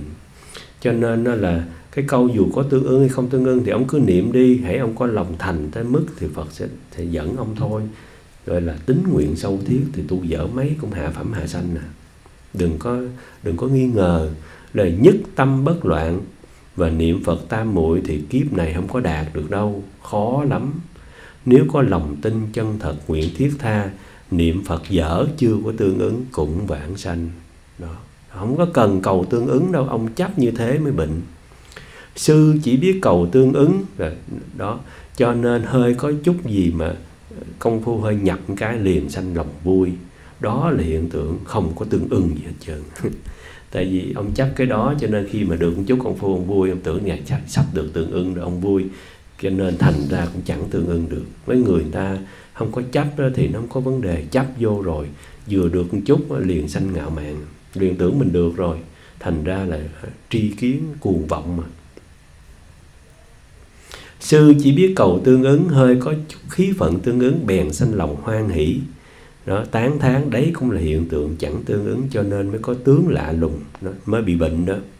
Người tu hành kỵ nhất là được chút cho là đủ được chút ít cho là đủ thì sẽ bị thoái thôi sẽ bị ờ, ta, tu nó sẽ bị bị càng ngày nó càng tu càng thấp xuống càng dở hơn thôi. Tại vì mình ờ, cứ cứ nghĩ mình đã được rồi thành có không có cố gắng nữa đâu. Bởi vì người chân chất ờ, ta đâu có biết được hay không được thanh tịnh thì biết vậy chứ ngày ngày giữ chắc tiếng Phật hiệu. Cảnh giới gì cũng vậy thôi. Còn cái này cứ cầu mong quá cho nên nó hiện ra diện chút liền sanh vọng tưởng. Hmm. Mong sư nên nhất tâm niệm, đừng có sanh nghi sợ, chẳng tương ứng, không phải bản sanh. Đừng có sanh cái chấp đó, hãy lòng thành niệm thì được rồi, mà chấp vô như thế mới bệnh. Đừng có chấp, không có tương ứng, Phật cũng đón thôi tất cả cảnh giới đừng có nghĩ tới nữa. Cũng chẳng cần biết người ta tu tốt hay là tu dở hay người ta tu giỏi, người ta vãng sanh hay không vãng sanh, đừng nghĩ tới nữa. Ngoài chuyện niệm phật ra, đừng có nghĩ gì nữa thì sẽ hết bệnh. Hay lắm trị bệnh, tự chấp nó mới thành bệnh. Thì ngài nói đừng nghĩ gì nữa, lòng thành làm gốc. Không tương ứng cũng không sao đâu, cứ lòng thành là phật đón. Chấp vô như thế, bệnh bệnh nó sanh bây giờ tâm bệnh bây tu giỏi ờ, sanh bệnh tu giỏi mà không học nó sanh bệnh. Sanh bệnh biết đường mà chữa. Đây là nhờ tổ sư. Nhờ ngài đó chứ mấy ông này chắc không phải sanh là tiêu. Tiêu đâu. Nằm trên giường bệnh kiểu này cứ nghi ngờ. Sanh nghi mà. Nếu mà, nếu quá sợ lúc chết gặp đủ chướng ngại, chẳng nên có do vậy bèn tính nhịn đói đã thất. Không sợ quá, muốn nhịn đói đã thất luôn. Bởi vậy mới chết. Ông tiêu ông rồi ông muốn nhịn đói đã thất tại ông sợ không tương ứng đó. Ông làm như vậy ông bệnh không bệnh sao được. Ông ông gấp quá ông tu như thế mà mà thành tâm lắm. Người này không phải thường đâu.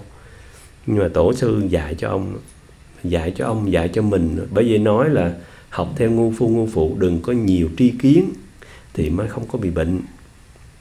Mới mới thảnh thơi mà vãng sanh.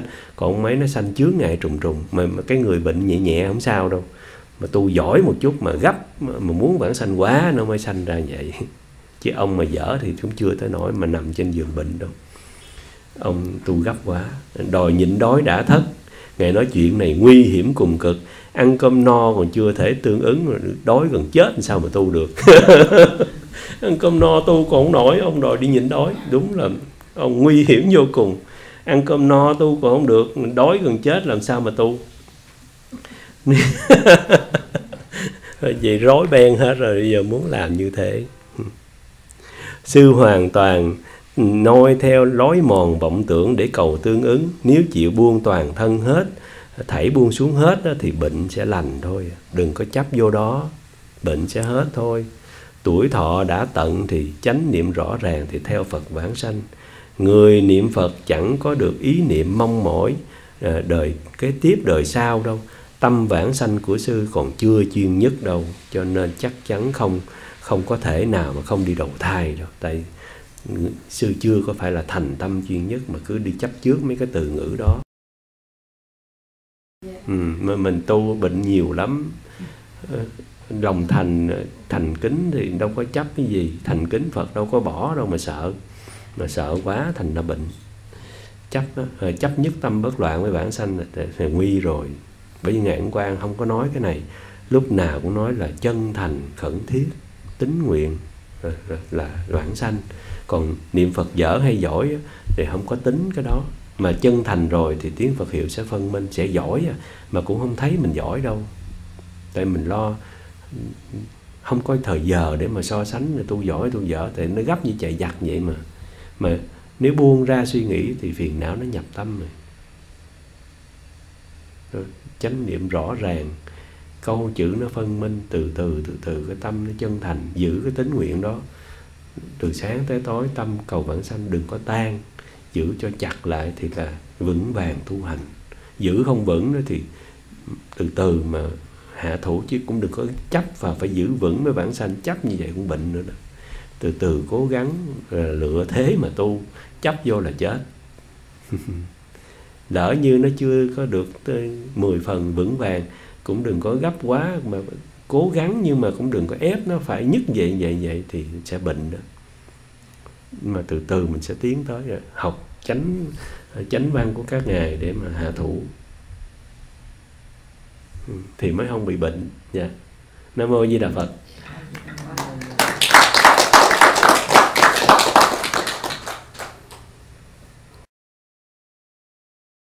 Um,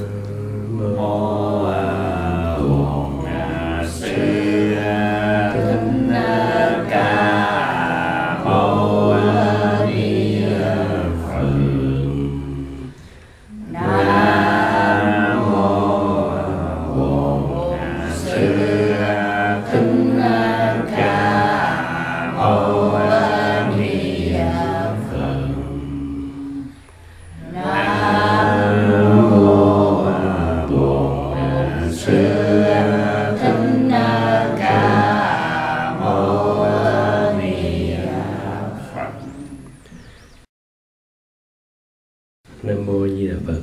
À, kính bạch à, ni sư trụ trì. Kính thưa sư cô kính chào toàn thể quý phật tử. A di đà phật.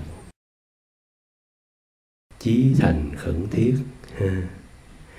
tinh sâu nguyện thiết thì chí thành đó ở trong cái tâm chí thành đó nó nó bao gồm cái tâm cầu vãng sanh. Nếu mà là đúng được. Không phải chí thành là niệm phật rồi quay về đức phật. Cứ thích ở đây thì không phải là chí thành đâu. Chí thành là một lòng cầu vãng sanh. Chí thành là mình chắp tay lại mình niệm phật tâm mình đem hết lòng thành hướng về ngài cầu uh, về ở thế giới của ngài. Đó là chí thành. Nó bao gồm cái cái niềm cầu cái tâm cầu giải thoát ở trong đó. Mà cái ờ, cái tâm tính nguyện đó phải vững chắc thì gọi là tu vững nó là không quên đó. Sáng thức dậy là một lòng tiếng Phật hiệu phân minh, niệm rành rẽ.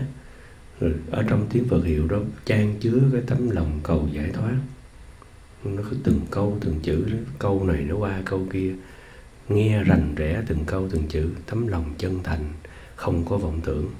Vọng tưởng có khởi lên làm lơ đó học vậy. Mình nhắc hôm qua đó giống như không biết nó vậy. Có vọng tưởng cũng chẳng biết. Phiền não tới cũng làm lờ.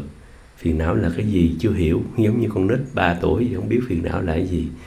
Ờ, nó không có cắt nghĩa không rồi không có chấp trước là không có cầu uh, thần thông không có cầu vãng sanh gấp không có cần nhất tâm bất loạn cho nhanh không có cầu tu cho tiến bộ cho nhanh. Cứ bình thản tiếng Phật hiệu phân minh là trang chứa lòng thành. Đó là như thế là tóm gọn qua, ha. Những cái chấp trước gì anh sẽ bỏ hết. Không có chấp là tu như vậy mới đúng tu như vậy là sai. Dụng công như vậy mới là đúng. Tại tiếng Phật hiệu phân minh rồi. Thì ngài thêm chữ khẩn thiết để trừ hết. Tại vì ngài nói khẩn thiết thì có thời giờ để mà nghĩ cái đó là đúng là sai, không có giờ để nghĩ. Tại vì giống như người ta cầm dao, người ta rượt, người ta giết thì có thời giờ đâu mà phân tích cái này đúng, cái này sai cứ hướng về ngài mà cầu cứu mạng chứ không có giờ để phân tích. Thì làm sao mà sanh nghi được?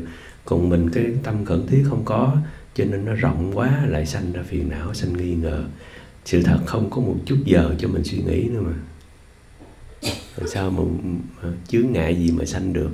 Tự nhiên mình rộng thời giờ quá cho nên mình nghĩ lung tung. Thành ra thành ra là mình sanh ờ, cầu cái này, cầu cái kia cho gấp. Thì sự thật ra là cứu mạng thì gấp gì không gấp gì. Phật đón con, giờ nhất tâm với không nhất tâm, quên rồi không có kịp để cầu. Con đang tán loạn hay nhất tâm, con thanh tịnh hay không không có biết được. Một lòng Phật đón con, Phật đón con. Thì đâu có giờ để mà suy nghĩ cho nên là khẩn thiết thì trừ hết các bệnh. Hay lắm. Mình rộng thời giờ quá. Thành ra là suy nghĩ, vọng tưởng ở trong đó, chấp nghe cái đoạn văn nào chấp cái đoạn văn đó là làm sao cho nó giống, làm sao cho nó đúng. Sự thật ra thì như cứu lửa cháy đầu có giờ đâu mà nghỉ. cho nên ngài nói là người ngủ nghịch thập ác lâm chung niệm 10 câu vãng sanh thì tại lúc đó cái địa ngục nó hiện ra khổ quá, họ thành tâm hướng về đức phật. Họ không có giờ sanh nghi, không có giờ phân biệt. Thì họ là cái cái sức mạnh đó 10 câu bình thường không có so bằng cái sức mạnh đó đâu thì cái người lâm chung, cái tiếng phật nó dễ sợ lắm. Tại vì cái áp bức của địa ngục nó hiện ra, họ thấy được rồi. Mình chưa thấy mình mình không có bị hoàn cảnh đó, mình không biết. Cho nên cái người lâm chung mà niệm phật 10 câu đó thì ngài nói 10 câu đó là không có nghi đâu, là chân tính chân nguyện đó. Mình giờ cái tâm không khẩn thiết, cho nên sanh sanh ra đủ thứ suy nghĩ, nên nó chen vô. Chứ thật thật sự mà đã Ờ, đã khẩn thiết tu trì thì một niệm không sanh, đâu có nghi gì, cũng không có gì, chỉ là cái tim của mình tin tưởng cái pháp này là tới mức rồi. Ờ, tin tới mức rồi. Là học cho tới nơi, chứ không phải là tự nhiên mà vào nổi đâu. Học cho tới nơi thì tự là người của mình nè, bây giờ nghe. Muốn sanh tây phương cần phải làm người tốt, đó. Người người hiền từ lắm chân chất lắm không có thị phi không có nhân ngã đâu.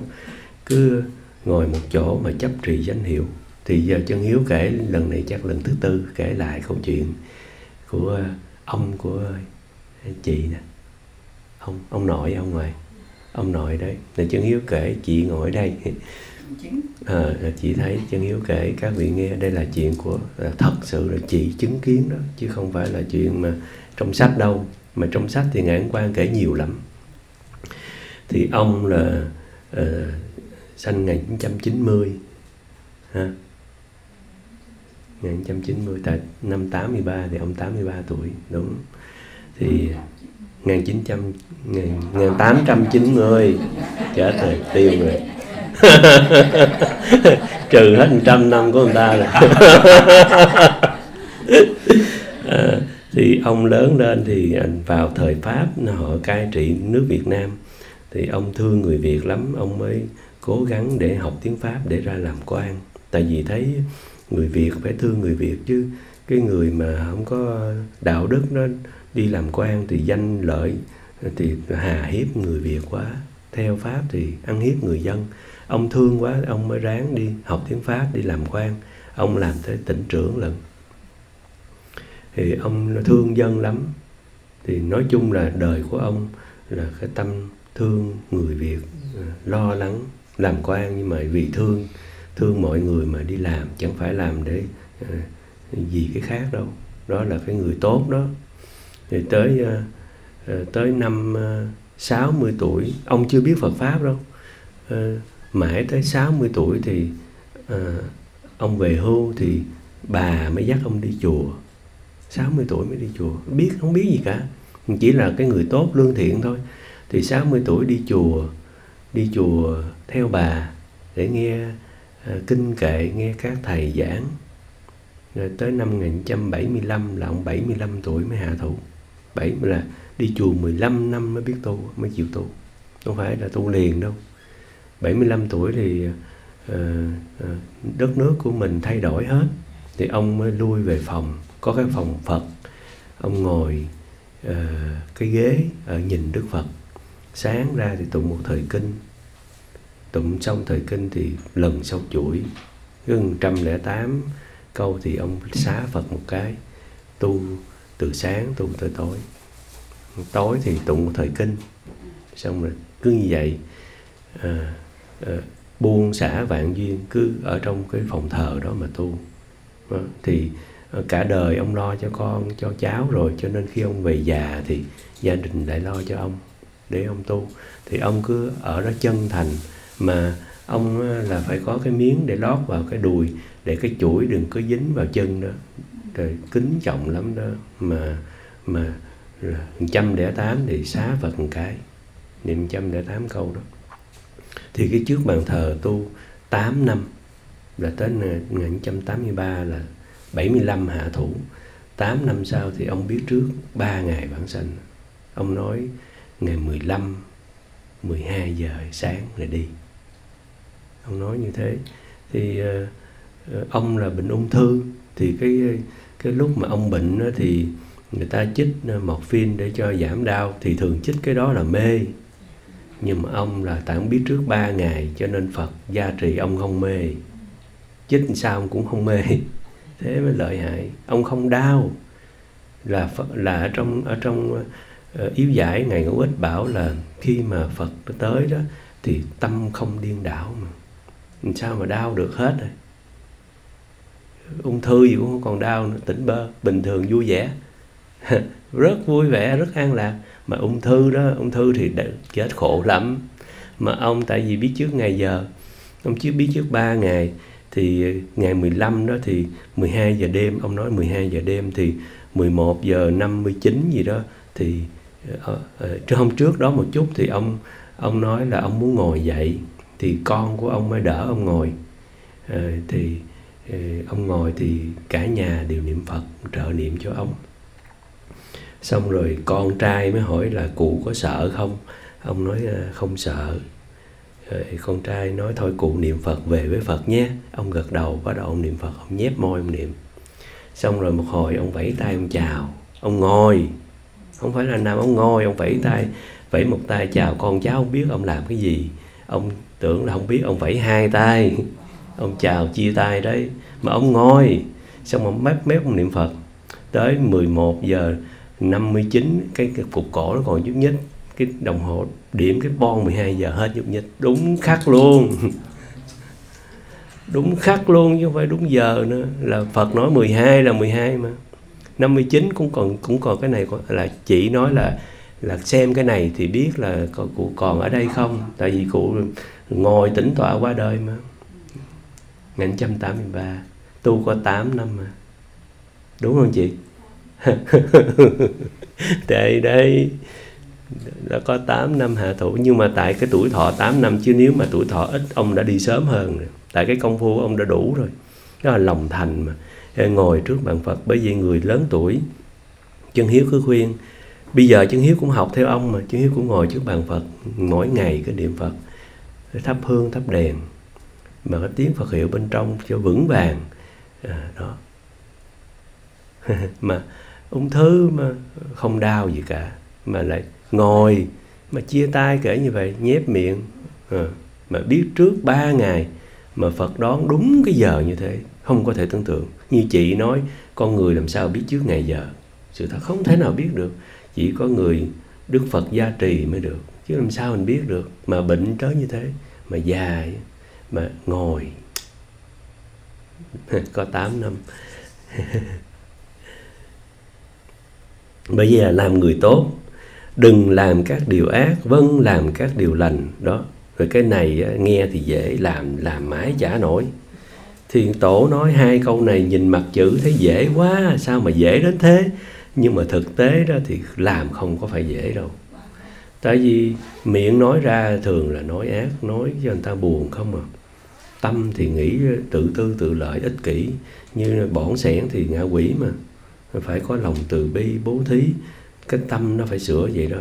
Nên là một sửa trong như nước vậy như pha lê vậy.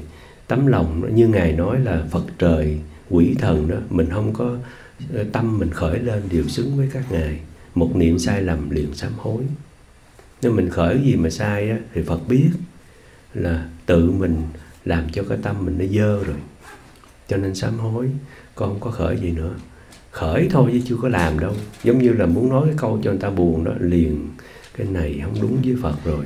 Thôi con, sám hối, không phải là vậy. Thì mỗi cái mỗi cái đều ở trong lòng đó mà sửa nó. Để cho nó, để cho nó thuần thiện thì cảm ứng mới được. Vãng sanh là như vậy. Bởi vì người vãng sanh cứ ngồi chỗ lăm băm cái miệng không có biết cái cuộc đời đâu. Không có lăng xăng như cái người mà bình thường mà bôn ba đâu người ta ngồi một chỗ được rồi lòng người ta hướng về phật.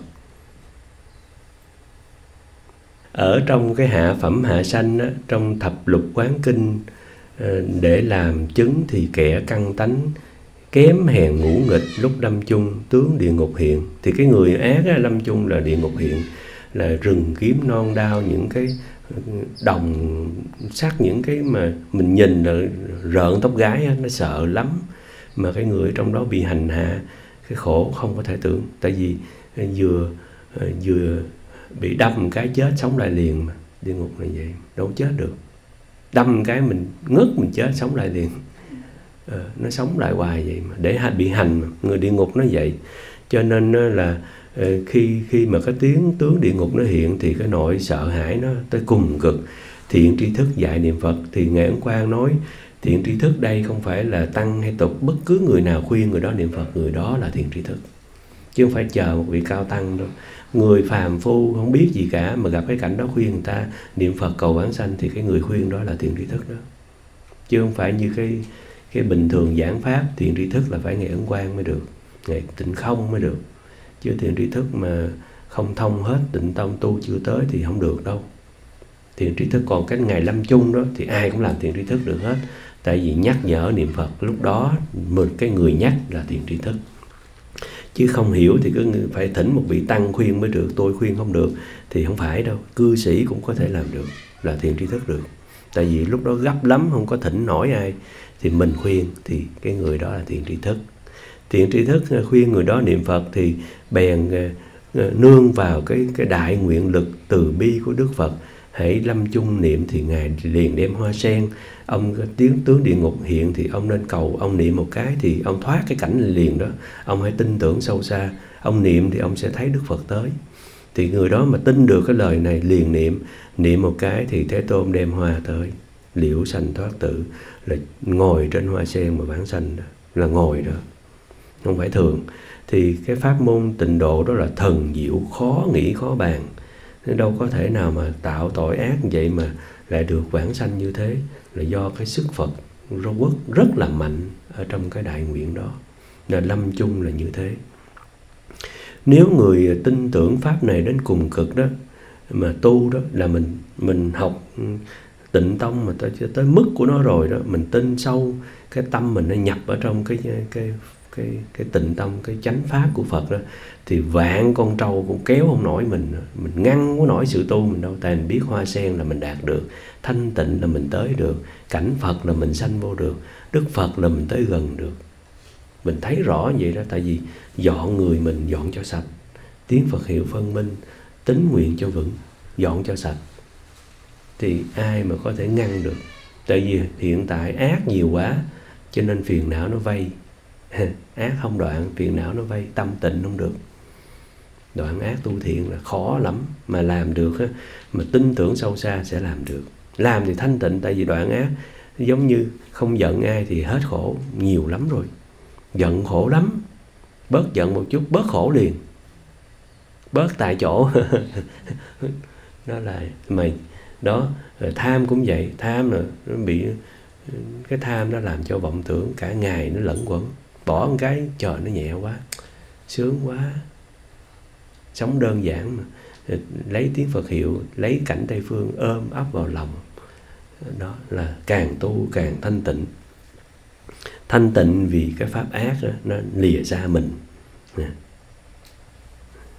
Những người tu pháp niệm Phật này muốn sanh Tây Phương đó à, thì nếu mà tin tưởng tới cùng cực rồi đó vạn con trâu cũng không có kéo được cái người này đâu. Tại vì họ biết Tây Phương có thể về mà pháp môn niệm Phật đó là phải tu thiện đoạn ác, ba nghiệp, thân miệng ý, thì tâm phải hợp với Đức Phật, phải hiền từ, phải giúp chúng sanh, phải làm việc tốt. Thì người như vậy thì cảm ứng nhanh lắm, làm sao mà không bản sanh được. Tự ác nhiều quá nó mới ngăn, tuy có niệm Phật mà bị ngăn với Đức Phật. Thì nói cái này cho tất cả như chúng chúng ta ở đây, quý thầy, quý cô cũng phải tu, miên mật lắm. Không phải thì thì mới vãng sanh đó. Và chắc chắn đó, thì tâm hạnh của mình đừng có cách ngăn với Phật. Tại vì Phật là từ bi, là trí tuệ, là các pháp thiện. Phật, tâm Phật là hoàn toàn tốt. Cho nên mình muốn lợi gần ngài, mình dọn cho giống. Thì mình với ngài có cái phận giống nhau thì cái tiếng Phật hiệu sẽ cảm ứng rất sâu. Lâm chung là tự nhiên vãng sanh rồi tại vì giống như ông đó là 8 năm đó. 8 năm hạ thủ thì đâu có ác gì nữa ngồi một chỗ vậy thì là thấu cuộc đời rồi mới ngồi được. Nhìn thấu rồi mới ngồi được. Còn nhìn không thấu là đi xuống bếp, đi chợ, đi lung tung mà. Không thấu mà. Không thấy vãng sanh là quan trọng, không thấy mình làm được. Không thấu được thì nó lôi mình đi. Thấu rồi mới ngồi được. Ngồi được rồi học pháp một chút, tu nó vui. Kêu đi cũng không muốn rồi mà. Đi là phiền não, đi làm gì? Còn bây giờ đi thì vui ngồi thì buồn, đó là nó như vậy đó. Không thông thì ngồi thì buồn, đi thì vui. Thông rồi thì ngồi mới vui. Ngồi đeo giải thoát mà nó đổi. Đổi một cái liền ngồi một chỗ được. Ngồi vui lắm. Những người vãng sanh thường là như vậy, ngồi một chỗ lắm lăm băm cái miệng à, lợi hại lắm. Lợi hại lắm. Mình lăn xăng quá, cho nên à, tu hoài không được là không nhìn thấu được nó. Cho nên học cho sâu rồi thì hạ thủ vài năm thôi là vãng sanh.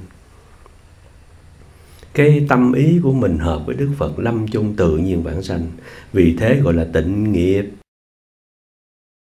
Thì như chân hiếu nói, mình cứ nghĩ niệm phật nhiều thì nó sẽ thanh tịnh. Ác mình không trừ, thì ngài nói ác không trừ, tâm không tịnh mà. Ngài nói hay lắm, bởi vì vừa niệm phật mà vừa đoạn ác thì mới đúng, mới tịnh được. Còn nếu mà ác không trừ, cứ tạo ác hoài mà cứ lo niệm phật để cho nó nó thanh tịnh niệm mãi chả thấy thanh tịnh. Tại cái ác đó nó ngăn ở trong đó. Vừa làm ác một cái buồn mấy bữa rồi tịnh sao nổi. Thấy không? Mình nói cho ai buồn cái mình niệm phật mấy không tịnh nổi. Cái buồn đó nó ngăn người mình mình, mình bức rứt lắm. Mình phải đi sám hối mình phải đi xin lỗi cho người ta vui lại thì tâm lại tịnh.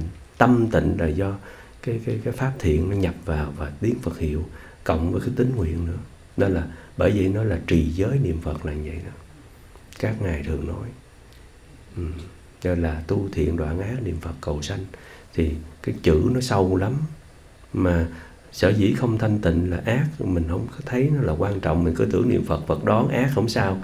Nhưng ngài Lý Binh Nam nói nếu làm ác thì thì làm sao đới nghiệp được? Đới nghiệp là không làm ác nữa mới được, mới đới được. Làm ác thì ác nó ngăn tiếng Phật rồi đó, nó ngăn cái tâm tịnh này.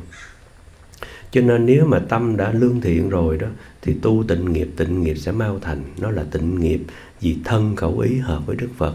Hễ tịnh nghiệp tịnh được cái nghiệp thì tâm sẽ tịnh. Đó rõ không? Là tịnh cái ác đó bỏ cái ác rồi tâm nó sẽ tịnh nè. Tâm tịnh thì, thì tự nhiên nó tương thông với Đức Phật. Niệm lên là cảm ứng. Tại có lòng thành nữa có lòng thành nữa rồi tâm tịnh rồi cái ác bỏ rồi niệm lên cái cảm ứng. Mà niệm lên thì cảm thông đó cho thập lục quán kinh nói hiếu dưỡng phụ mẫu phụng sự sư trưởng từ tâm không giết tu tập thiện nghiệp là tịnh nghiệp chánh nhân. Vì sao vậy? Đây là cái nền tảng để mà xây cái nhà cái nền móng của nó là tu thiện đoạn ác là cái nền móng. Cái móng ông không xây mà ông có niệm phật đó, nó sẽ đổ thôi cái móng của nó là tu thiện là người người tốt đó làm người lành. Thì phật dạy cái, cái mấy cái chữ này thì ngạn quan nó đó là nền tảng để vãng sanh. Nền tảng là tại vì tâm mình lương thiện cho nên tiếng phật hiệu vào cái liền là tịnh nghiệp. Nếu nền móng mà không chắc á, xây cho cao thì cũng sụp thôi. Thì niệm phật cho nhiều mà ác không bỏ thì thì khó mà tịnh tâm lắm. Cho nên đoạn ác nữa thì là đúng hết tất cả rồi. Nhà muốn đoạn ác á, thì dùng tiếng Phật hiệu cho phân minh, ờ, chánh niệm cho rõ ràng thì những cái vọng tưởng tới làm ngơ thì là đoạn ác. Bởi vì cái này nó hổ cho cái kia. Đoạn ác mà không niệm Phật đoạn không nổi. Sao đoạn được? Đó. Mà niệm Phật thanh tịnh, thành tâm thì ác nó bỏ. Nhưng mình phải có ý niệm mình muốn bỏ ác mới được. Nếu mình không có tâm muốn bỏ thì ác tới mình cứ mình cứ phạm. Mình phải có tâm biết là phải trừ cái này để cảm thông với Phật. Tại vì tâm hạnh không giống thì khó cảm thông. Vì vậy mà dùng tiếng Phật hiệu cho phân minh vọng tưởng tới làm ngơ. Những cái ác gì nó dẹp hết thì tự là cảm thông. Tu như vậy thôi đừng sanh cái gì nữa. Cứ thành tâm một ngày một ngày. Cứ, cứ niệm a di đà giữ tâm cho đúng vậy thì cảm ứng đạo giáo. Dài năm là vãng sanh. Vài năm học thêm nữa thì chiều hết biết đường nói chết rồi. Hết rồi. Con à. Ờ, mới vô mà.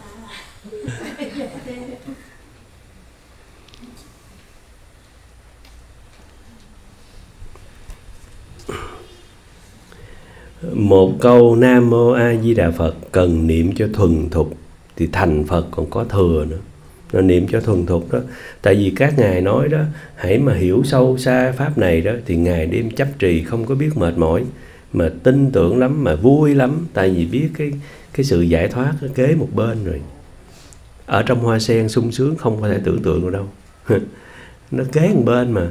Đức phật là gần lắm rồi, sắp gần, sắp gặp rồi. Quỳ dưới chân ngài, lấy cái tay sờ sờ cái chân, nó có thể đụng được rồi nghe pháp âm rồi gần tất cả bồ tát, sắp sửa được rồi. Đó. Thì cái người đó nhập vào cái đạo thì, ồ, sắp sắp thoát rồi, sắp sửa được rồi. Cho nên là ở thế gian đâu có mê được họ. Mình chưa thoát được, cho nên cái gì mình cũng muốn hết á. Thoát rồi thì bỏ hết. Đâu có gì vui bằng cái này. Cho nên là cứ cứ ngày ngày ở trong đó. Bởi vì tiếng Phật hiệu phân minh thì vãng sanh là đương nhiên là được, thành Phật còn được nữa đó. Ngài nói, niệm cho tới cùng thành Phật luôn. Nhưng mà thời giờ thì mình đâu có đủ để niệm tới thành Phật, niệm tới vãng sanh thôi. Rồi về đó thì mới, Phật mới dạy thêm.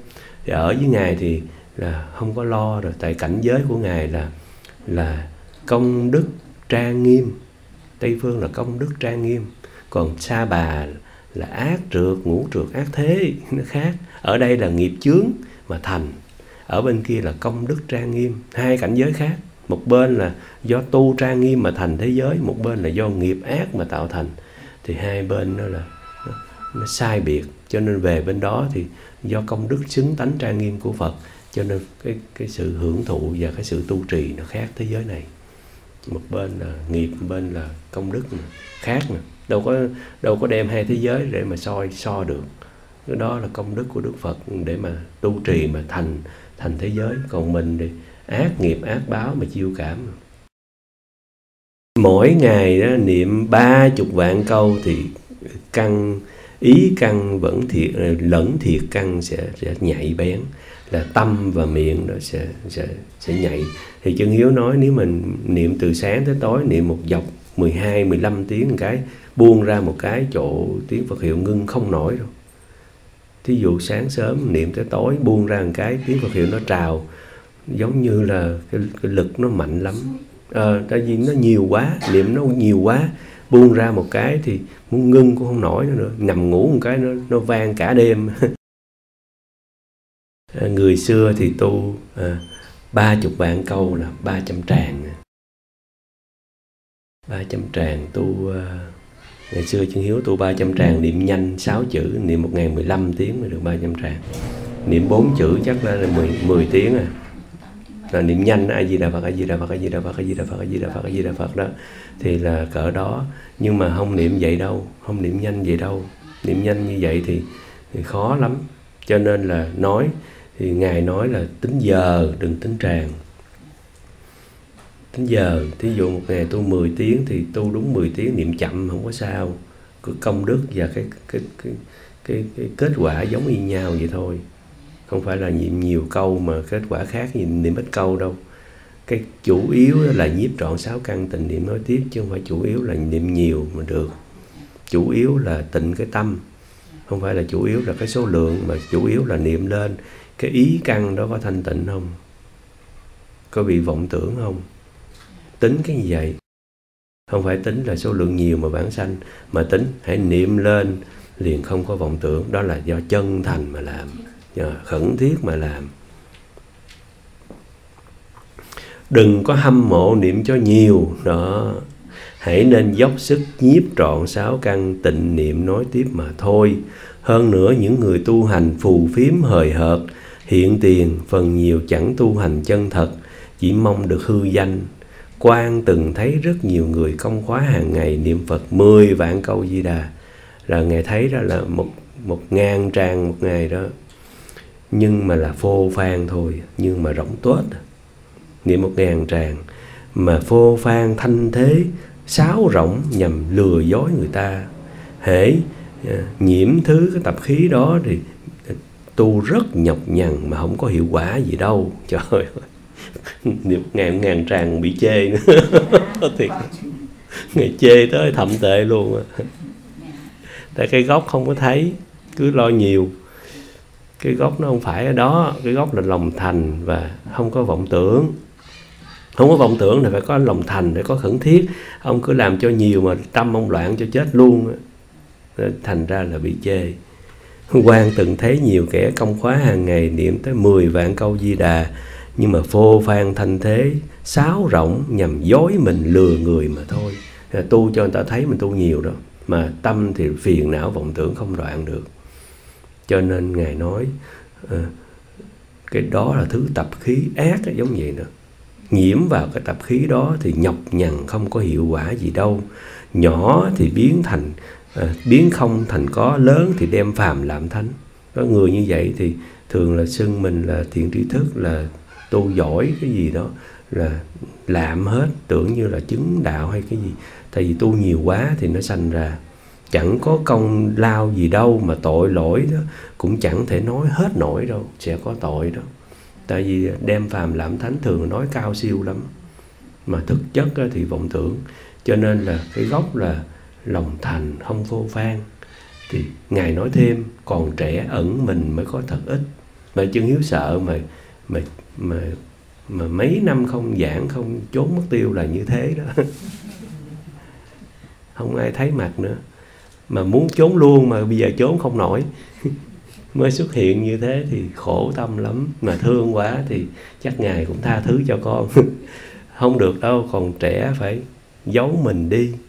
Ngài nói mà, ông càng nổi tiếng thì không có bao nhiêu lợi ích đâu. Ông tu không có được cái gì đâu ông giấu ông đi thì ông mới được thật ít vãng sanh mới có phần. Đừng cho người ta biết tới ông.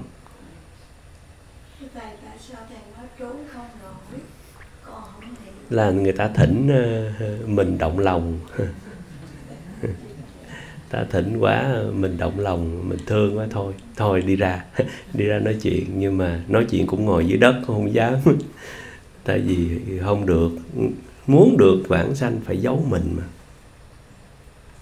chừng nào tu tới tới mức nào đó bồ bồ tát và hộ pháp lôi ra mới được. Tự các ngài đưa mình ra mình có tự ra được. Các ngài xui khiến mình trốn không có được thì mới được. Còn không không thì phải lo cái tâm tịnh trước. Về Phật pháp mới hành thông tâm chưa tịnh mà lôi ra sớm. Dạ. hư mình mình tự hại mình thì người theo mình chết chết theo. Tại mình không được mà. Cho nên thành ra là mình, nhiều khi mình thương người quá thành ra mình không giúp cho người được mà là không giúp cho mình. Mình muốn nấu cho nhanh chín đó mà nó sống hết rồi. Nó hư luôn cái yêu mình nấu tốn gạo mà ăn được nữa. Vừa phải mà tốn gạo tốn nước của người ta nữa chứ. Đó là phải nấu cho chín thì mới ăn được. Đó là cho nên là còn trẻ ẩn mình đi. Nghe cái này sợ quá. Bởi vì tâm phải thanh tịnh không phải vô phan mà cái, cái, cái, cái bí yếu là nhiếp trọn sáu căn là tịnh niệm nói tiếp. Chứ không phải là niệm nhiều. Niệm nhiều mà không khéo là thành phô phan tại niệm nhiều mà không nhiếp các căn thì vọng tưởng.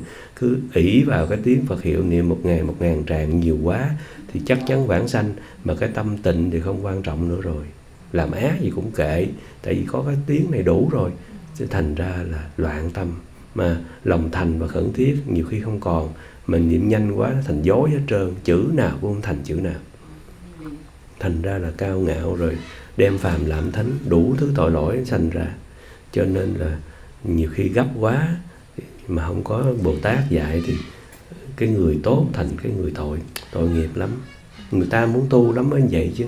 Mới niệm một ngày như vậy chứ. Nhưng mà phải có ngày dạy mới được. Là tâm tịnh mới được. Phải chắc nịch từng câu. Và chí thành khẩn thiết là gốc niệm mấy cũng không sao. Bởi vì là tính giờ, đừng tính tràng. Ừ, tính giờ. Cho nó thư thả hơn chút nữa. Dạ tính giờ thoải mái hơn. Mà không có gấp, mà lại không có kể cho người ta nghe một ngày mình tu bao nhiêu nữa mới được. Giấu mình mà. Người ta niệm mà người ta học cho thông, chứ không phải giống mình. Là người ta lấy cái khẩn thiết, cái chí thành. Người ta lấy cái tính nguyện làm gốc không phải lấy số, nhưng mà lấy cái đó để trừ cái giải đãi. Bởi vì ngài ấn quan cũng dạy như thế mà dạy tính giờ. Cũng giống như các ngài thiền đạo, ngài ngẫu ích. Mà ngài ấn quan nói, tại vì lần chuỗi mà ngồi thì thì sẽ ờ, thân động thần thần bất an, lâu ngày có thể cái tâm mình nó bị tổn thương. Không cho lần chuỗi thì thành ra tính giờ, cũng không cho giải đãi đâu. Nhưng mà cái gốc của họ là là nhiếp trọn sáu căn, chứ không phải là, không phải là tiếng Phật hiệu nhiều ít. Nhưng mà khi, khi mà lòng thành khẩn thiết á, thì niệm một ngày cũng là vài trăm tràng thôi chứ không có ít được. Tại vì cái tâm nó đã nhập ở trong đó thì thì tự nhiên nó nhiều rồi cái nhiều là ai cũng làm hết rồi. Nhưng mà phải nhắm chứ không phải nhắm cái chỗ nhiều mà nhắm cái chỗ khác. Còn mình giờ cái chỗ khác không có nhắm cái chỗ nhiều thành ra nó khác. Chứ mình đâu có sai niệm nhiều đâu có sai. Nhưng mình không khéo người ta lại không dám niệm nhiều mình chết luôn người ta sợ niệm nhiều nó sai. Niệm nhiều là đúng rồi nhưng mà tại cái dụng nó sai. À, chứ niệm nhiều làm sao mà sai được? Niệm ngày niệm đêm mà mới đúng được. Niệm nhiều là giữ đi mấy trăm chàng cứ giữ đừng bỏ bỏ. Nhiều khi học theo thầy chân hiếu bỏ hết là chết chết luôn. Anh ra là niệm ít là đúng sao? Niệm nhiều là đúng rồi cái tâm phải khẩn thiết phải không có phiền não phải phải trong sạch phải thanh tịnh. Mà muốn vậy là lòng thành là gốc. Lòng thành mới dẹp được phiền não mà. Thì đúng rồi đúng rồi thì thời khóa.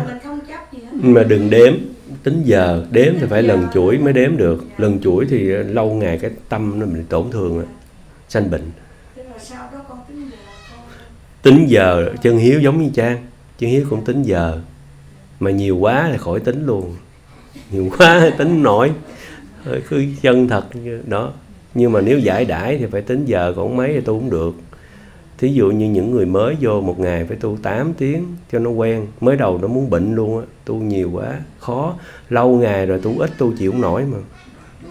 À, lâu ngày nó quen. Càng vui. Thí dụ như những người mới chưa biết gì thì một ngày niệm uh, sáng hai ba tiếng trưa hai, ba tiếng, chiều hai, ba tiếng là 8 tiếng một ngày đó. 8 tiếng là là không không có nhiều đâu, nhưng mà đối với người mới thì là tinh tấn bậc nhất luôn. Nhưng mà phải phải ngừa khi tinh tấn vậy nó cao ngạo, nó xanh mau lắm. Phải ngừa nó trước, phải học, nó xanh mau lắm. Nó xanh ra là thành ra là phiền não. Tu hồi nó phiền não cho nên là học một chút. Rồi thương người khiêm cung. Ờ, Rồi 8 tiếng 8 tiếng bắt đầu nghe pháp mới biết chân thành. Tại 8 tiếng mới tu, phiền não nhiều lắm vọng tưởng đầy hết vậy đó tại chân thành nó không biết. Từ từ từ đó thì cái, cái, cái tim của mình đã biết đây là giải thoát đây là hướng về phật. Lòng thành mà gấp á, tu khẩn thiết á, thì từ từ là niệm tới đắc lực. Là chữ nó vậy mà niệm tới đắc lực. Cho nên niệm nhiều lắm nhưng mà không chắc cái đó nhiều là đúng mà chấp cái, cái thanh tịnh cái tâm thành của con. Không được chấp cái đó chấp cái đó thành ra tưởng như vậy là đủ bản sanh cho nên ác không thèm đoạn thành ra sai. Tin vào đó mà bản sanh cái đó là đúng rồi, nhưng mà cái bản sanh là lòng thành, là tính nguyện, là tim của con. Nhưng mà tim nó thấu hiểu quá thì tự nhiên cái sự thực hành nó nhiều như thế. Nó theo tâm mà sanh. Nhưng mình thích cái gì quá, mình làm ngày mười mấy tiếng không thấy mệt mà càng làm càng vui. Mà cái làm đó đâu có tính giờ với người ta, tại vì nó vui mà. còn thiếu tính giờ giống như làm công nhân vậy, lấy tiền vậy. Còn cái này là tâm mình muốn mà. Dạ, không có tính giờ. Giờ không có biết nữa rồi mà nhiều nhiều lắm, phải tu nhiều lắm. Quên ra một cái rồi phải nhớ sanh tử là việc lớn. Đi đầu thai khổ như vậy mà lấy gương của người vãng sanh, giống như ông mà nãy kể hay không? Rồi nhìn thấu cuộc đời rồi đó. 75 tuổi hạ thủ đó. Không nhìn thấu thì đâu có làm được vậy. Lăn xăng rồi. Thì ở ở Đức Viên chân hiếu giảng có ông bác đó bảy mươi mấy tuổi, nói làm không nổi, thầy ơi, cứ thấy mấy đứa cháu thì mình cứ động tâm mà chân hiếu nói, làm không nổi là tại vì nhìn chưa thấu, chứ không phải mình dở, đừng có nghĩ mình dở. Mình nhìn không thấu thì mình buông không được. Mình nhìn cho thấu cái đạo này thì tự nhiên mình sẽ, tâm mình hay lắm, tại nhìn không thấu thì làm không tới mà. Để học pháp, Phật pháp chưa đủ mức thì nhìn con nhìn cháu thì sẽ loạn tâm vậy đó nếu học đủ mức thì tự biết cái cái cái nào quan trọng thì tự làm sẽ được. Thì học thêm thì từ từ chứ bây giờ mà muốn bỏ liền thì không làm được đâu phải học thêm một chút. Đó nhiều khi gần 80 tuổi rồi còn buông chưa nổi mà. Là cái, cái đạo lý không thấu được cho phải học của ngài ấn quang phải nghe giảng. Chứ đừng có nghĩ tôi tu đủ rồi tôi không có nghe giảng nữa. Ở nhà tôi tu thôi thì, ờ, thì tội nghiệp tôi quá tôi tự hãm con đường của tôi lại. Trong khi phật bồ tát giảng hay tới như thế này tại sao phải phải bỏ? Dù có tu được giỏi mấy cũng nên nghe nghe để sắp tấn cho mình. Đâu có hại. Nghe bồ tát mà đâu có hại. Cho nên đừng có à, giống ép người mình không nghe nữa. Kinh phật lời tổ là quý báu lắm. Ừ. nghe đâu có chướng ngại công phu. Nhưng đừng có nghe tạp thôi. Nghe tạp nhiều khi nó phân vân nghe tạp thành ra là thắc mắc nhiều, nghi ngờ nhiều, thành ra bệnh. Tại nghe không đúng, nó sẽ sanh nghi. Còn nghe đúng rồi, làm gì có nghi? Giải nghi mà. Nghe không đúng, nó sẽ sanh nghi. Nó sợ. Cái này không được, cái kia không được, sanh ra sợ. Nghe đúng thì nó thành ra dễ. Nếu họ thông thì họ làm vậy là đúng lắm, mình phải đảnh lễ họ. Tại vì các bồ tát cũng làm như thế, cũng nhập thất như thế họ không thông đó thì họ tự hãm con đường của họ họ tiến không nổi. Đó nhưng hy vọng cái công đức tu đó, họ sẽ cảm ứng các bồ tát cũng thương họ thôi. Có một lúc họ cũng nghe được. Họ niệm phật nhiều là hơn mình rồi. Mặc dù họ chưa có giỏi, họ chưa có thông hiểu thì họ sẽ bị kẹt. Một lúc nào đó cũng có người giúp cho họ qua được. Người như vậy mình phải thương lắm. Người muốn nhập thất không phải thường đâu. Họ tha thiết quý chí lắm. Nhưng mà phải thông một chút để không mấy nó kẹt nó kẹt thành ra là tu nhiều mà lợi ích không có nhiều, mà lỡ mà dính vào những cái tà kiến thì họ lại là đem phàm làm thánh, họ lại tội lỗi cái đó là phải học một chút. Nha yeah. thì ờ, cái đó thì ngài ờ, lý vĩnh nam ngài nói là không có đoạn, không có chặt cái cây đó mà đừng cho nó xanh ra thôi. Không có đoạn là đới đới nghiệp là tham sân si còn y nguyên vậy đó. Không có không có trừ vậy mà hãy tham lên cái liền niệm phật cho nó bay. Là đúng rồi.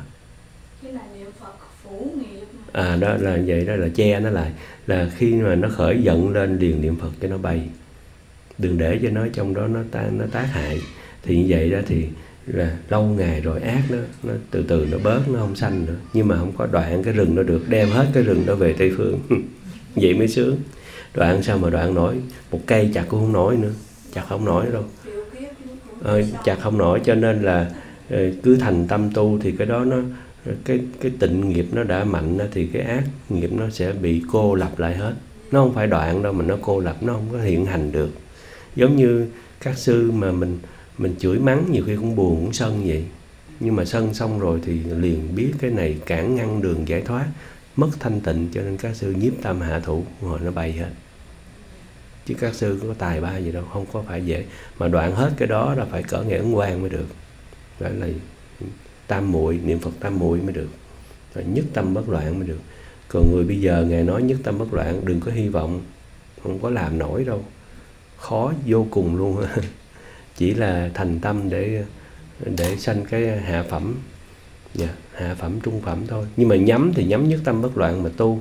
Nếu nói như vậy người ta không nhắm nhất tâm thì thành thành ta rớt phải nhắm là tu tới nhất tâm kiếp này. Nhưng mà thường nó đi nửa đường là bản sanh. Còn nếu mà cứ nói nhất tâm không làm nổi thì thôi khỏi nhất. Cứ loạn tâm mà tu thì rớt hết. Phải học vậy chứ nhiều khi nghe một cái chắc một cái thành ra không biết cái câu sau. Câu cái câu trước là không cần nhất tâm cũng vãng sanh mà câu sau nếu không cầu nhất tâm thì sẽ rớt. Đó, hai câu đó. Nhiều khi người ta học người ta lấy có một câu thôi thành ra là bởi vì Phật bảo nhất tâm mà. Phật, Phật trong kinh bảo phải nhất tâm. Mà ngài nói đó nhắm là nhắm nhất tâm nhưng mà do cái tính nguyện sâu quá thì cảm ứng. Bởi vì nó có cái hạ phẩm nó hay vậy đó. Nếu mà trung phẩm thượng phẩm thì mình nguy rồi. Phải tu tới nhất tâm mới được. Tại cái hạ phẩm nó hạ phẩm là tu tới cảm ứng đó tu tới mình lòng thành thì để bản sanh cái hạ phẩm nhưng mà phải nhắm cái trung cái thượng để mà tu. Rồi nhắm cái nhất tâm kiếp này mà tu. Tu hoài thì rớt xuống cái hạ phẩm nhắm cái hạ phẩm mà tu là loạn tâm mà tu thì rớt xuống cái là ta bà. Ờ, ờ, đoạn mà sau nhất tâm bất loạn, một ngày tới bảy ngày đó, thì Phật bảo là hãy có tính tâm cần nên phát nguyện sanh về nước kia đó. Nghe đoạn đó đó, thì ngài ngẫu ích ngài nói là ngã kiến ngã kiến thị lợi đó, là chữ nho đó, là ngã kiến thị lợi là chính tôi là thấy cái lợi ích đó. Là lợi ích gì? Lợi ích là con người chúng ta Dạ. cái cái khó khăn nhất là ngày lâm chung. Khổ nhất là ngày lâm chung. Dạ. Mình là ờ, sanh lão bệnh tử. Sanh lão bệnh thì mình có kinh nghiệm. Tử mình chưa có kinh nghiệm. Mình có kinh nghiệm đó. Mình nói nó không sao, nó không không khổ. Mà Phật nói nó là khổ. Mà mà ngài ngẫu ích nói nó là cái ải mà chư tăng cũng qua không nổi. Cao tăng cũng phải chết với nó. Phật thấy ngã kiến đó là chúng sanh gặp nó là thua. Không thể nào qua được. thì cái người được nhìn mà, mà nhiều người người ta không có cơ hội để thấy. Hoặc là người ta nhìn thấy những người chết an lành. Người ta không có cơ hội. Những người trong nhà thương đó. chứ mình chưa biết cái đau của người bên trong mình không biết được là cái nỗi khổ đó và cái sự sợ hãi đó mà ngã kiến là Phật thấy tới. Cái đó đó là cái nỗi khổ là quan trọng mà chúng sanh phải phải chịu, phải tới cái chỗ đó là chúng sanh đều đều thua, là nó trói vô bát đạo thua mà. Nó khổ mà nó sợ hãi, nó quan mang. Rồi mấy người mà sanh bát đạo thì cái nỗi sợ nó không biết bao nhiêu mà có thể nói được. Còn những người mà mà mà chết yên bình đó, toàn là tu công đức không mà, mới được, mà thường là niệm phật không mà chết an lành lắm. Thì đó thì ờ, ngã kiến là phật thấy là chúng sanh đó, mà cả những người ờ, ngài ngẫu ích nói những người bên thiền tông là tiềm tàng sâu xa tu rất là cẩn mật. Là tu giỏi lắm đó là ờ, phiền não đã đoạn rất nhiều rồi đó. Đoạn đó chứ không phải là ngăn như tịnh tông đâu đoạn đó mà gặp cái là ngày lâm chung cũng mê muội mà đi thọ thai đó vào cái là thua. Không có thể nào mà vượt qua được. Là vào bào thai, vào bào thai một cái quên hết. Thì ngài ngẫu ích nói, sơ quả tu đà hoàng đó mà vào bào thai còn quên, đừng có nói mình. Bởi vì mình không nhớ kiếp trước là gì. Mình sơ quả làm sao mà có được. Sơ quả đó mà ngài ngẫu ích nói, chứng sơ quả vào bào thai. Khi vào bào thai của mẹ liền quên công phu của tiền kiếp. Bởi vậy, bởi vì là tăng tục gì mà gặp là chết mà ngài nói bồ tát đó mà vào thai mẹ cũng quên luôn nữa. trời ơi phải là sợ quả đâu. Gọi là bồ tát cách ấm chi mê đó cái chữ đó. Ừ, cách ấm chi mê rồi sanh ra còn mê muội đó. Thì huống chi là chúng sanh gặp một cái là vào bào thai nhanh lắm mà gặp một cái là là khổ lắm mà lúc đó đó than không được. Đó như là ờ, chết rồi kể chuyện kiểu này chắc hết giờ luôn. Cái, ờ, cái ông đó ờ, chết rồi giảng hồi nó chạy qua cái khác rồi. Ạ. cái ông đó ừ, cái ông đó ổng ờ, ờ, ngài ổng quan nói ổng làm quan lớn lắm. Mà thời của ngài đó tại ngài sống là thời lúc đó cũng có có vua qua một chút rồi mới tới thời dân quốc. Thì thời của ngài ông đó làm quan mà không biết cái thời quan đó là quan gì. ờ, mà lại là quan lớn lắm, đệ tử ờ, làm quan đông lắm. Mấy người ở dưới chướng ông ta là đệ tử đó cũng làm quan không rồi bạn bè trong cái chỗ làm việc đông. Thì khi ông chết đó thì ờ, mấy ông đệ tử làm quan mới lại bàn với nhau ngạn quan, biết ông là cái người hiền, người thiện đó ngạn quan viết thơ, nói thôi đãi ờ, đãi đồ chay đi, cúng chay đừng có cúng mặn thì ngạn ông quan viết thơ tới thì người ta cũng đọc xong rồi mấy ông quan, mấy ông đệ tử nó bàn với nhau cái gì đó. Cứ xôn xao bàn, thành ra cũng mặn, không cũng chày nữa. Mời 400 bàn. Trời ơi. Quan lớn mà 400 bàn mà. Quan thì chắc ăn dữ lắm, nhưng không phải như thường đâu. Ăn sang lắm 400 bàn. Tổ chức ở chỗ này, tổ chức ở chỗ kia. Nhưng mà mấy cái lần sau thì không biết bao nhiêu bàn nhưng mà cái lần đầu đó nghệ quang nói là mời 400 bàn mà ông bạn biết bao nhiêu người. Ở Trung Quốc nhiều khi ông bạn tới 12 người lần đó à, mà 400 bàn thì tính ăn biết bao nhiêu con vật. Thì à, tới thời gian sau thì ở, ở Trung Quốc người ta ưa cầu cơ lắm. Mà ngài quang nói cầu cơ nhiều khi không có thật đâu. Người ta giả danh không à. Nhưng mà kỳ này thì cái ông này ông tới thật à ông tới ông khóc quá trời luôn. Ông đau khổ ông nói công đức làm quan. Một đời tạo phước lành. 400 bàn nó tiêu hết công đức, bây giờ trả nghiệp không nổi. Và tụi con cháu nó hại tôi mà. Trả không nổi mà. bây giờ sao mà giống như cúng dường trai tăng bố thí, thỉnh các sư mà ừ, giúp cho ông mới được. Ờ cho ông. Ông giúp ông ông khóc mà ông khóc ròng ở trên đàn ông đau khổ lắm. Nhưng mà công đức của ông khiến bồ tát cho ông có lời nói được đó. Chứ thường là không có được luôn á, anh hãm ở trong đó mà. Ông nói 400 bàn. Đó là cái đợt đầu, còn mấy đợt sau chưa tính đó. Ông ông nói là trả không biết chừng nào mới xong. Công đức làm quan một đời mất hết rồi. Không còn cái gì hết đó. Dạ cái đó là những người khác làm chứ không phải ông làm mà làm cho ông, tại làm cho ông, làm lễ cho ông.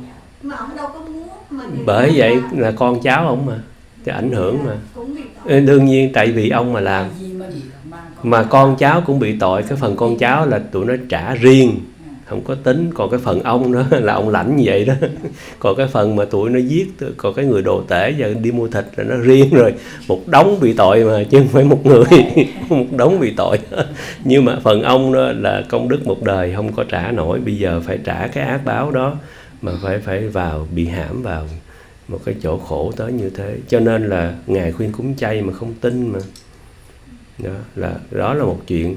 Thì ông ngài kể đó, bởi vậy lâm chung đó lâm chung là không có qua được mà ngã kiến thì lợi đó là phật nói là muốn qua được cái ải lâm chung đó thì hãy cầu phát nguyện bản sanh phát nguyện thì mới thoát được Phật nói mà bốn lần ờ, ngài Ngẫu Ích nói là muốn qua được cái ải đó là ngã kiến thi lợi là Thế Tôn biết là Thế Tôn nói hãy cầu phát nguyện, cầu vãng sanh thì sẽ qua được cái ải đó. Bởi vì phát nguyện rồi thì niệm Phật sẽ tinh tấn thôi. Niệm Phật là thực hành cũng như mình thích làm cái bàn đó thì khi đó mình thích quá thì mình sẽ làm cái bàn một ngày mười mấy tiếng làm cho nó xong. Thì cái là lúc làm đó là do cái cái thích đó ban đầu mà nó nó phát huy. Thấy không? Bởi vì thích rồi thì sẽ làm. Bởi vì phát nguyện rồi thì sẽ niệm phật. Bởi vì niệm phật á, là cái ở đằng sau. Còn cái tâm ban đầu hãy có nguyện thì mới qua được cái ải này. Muốn cầu vãng sanh. Và tha thiết đó mà biết cái cái cái lâm chung là qua ông nội là ngã kiến thiện lợi đó. Bốn chữ lợi hại lắm. Mà giảng ngày cũng ít mới giảng như vậy giảng hay như vậy. Kinh di đà giảng từng chữ đó hay lắm. Mình muốn qua được cái ải đó là phải phát nguyện là phải cầu vãng sanh. Cho nên là thời thời khắc khắc không có quên cái tâm cầu vãng sanh mới được. À, mới đúng như kinh được. Phát nguyện là phải là thiết như vậy đó chứ không phải sáng nhớ một chút rồi thôi cả ngày quên bẵng không phải. Lúc nào cũng phải là con muốn vãng sanh con muốn vãng sanh muốn niệm phật vãng sanh. Tiếng phật hiệu phân minh tâm tư thì gửi trọn nơi cái thế giới đó.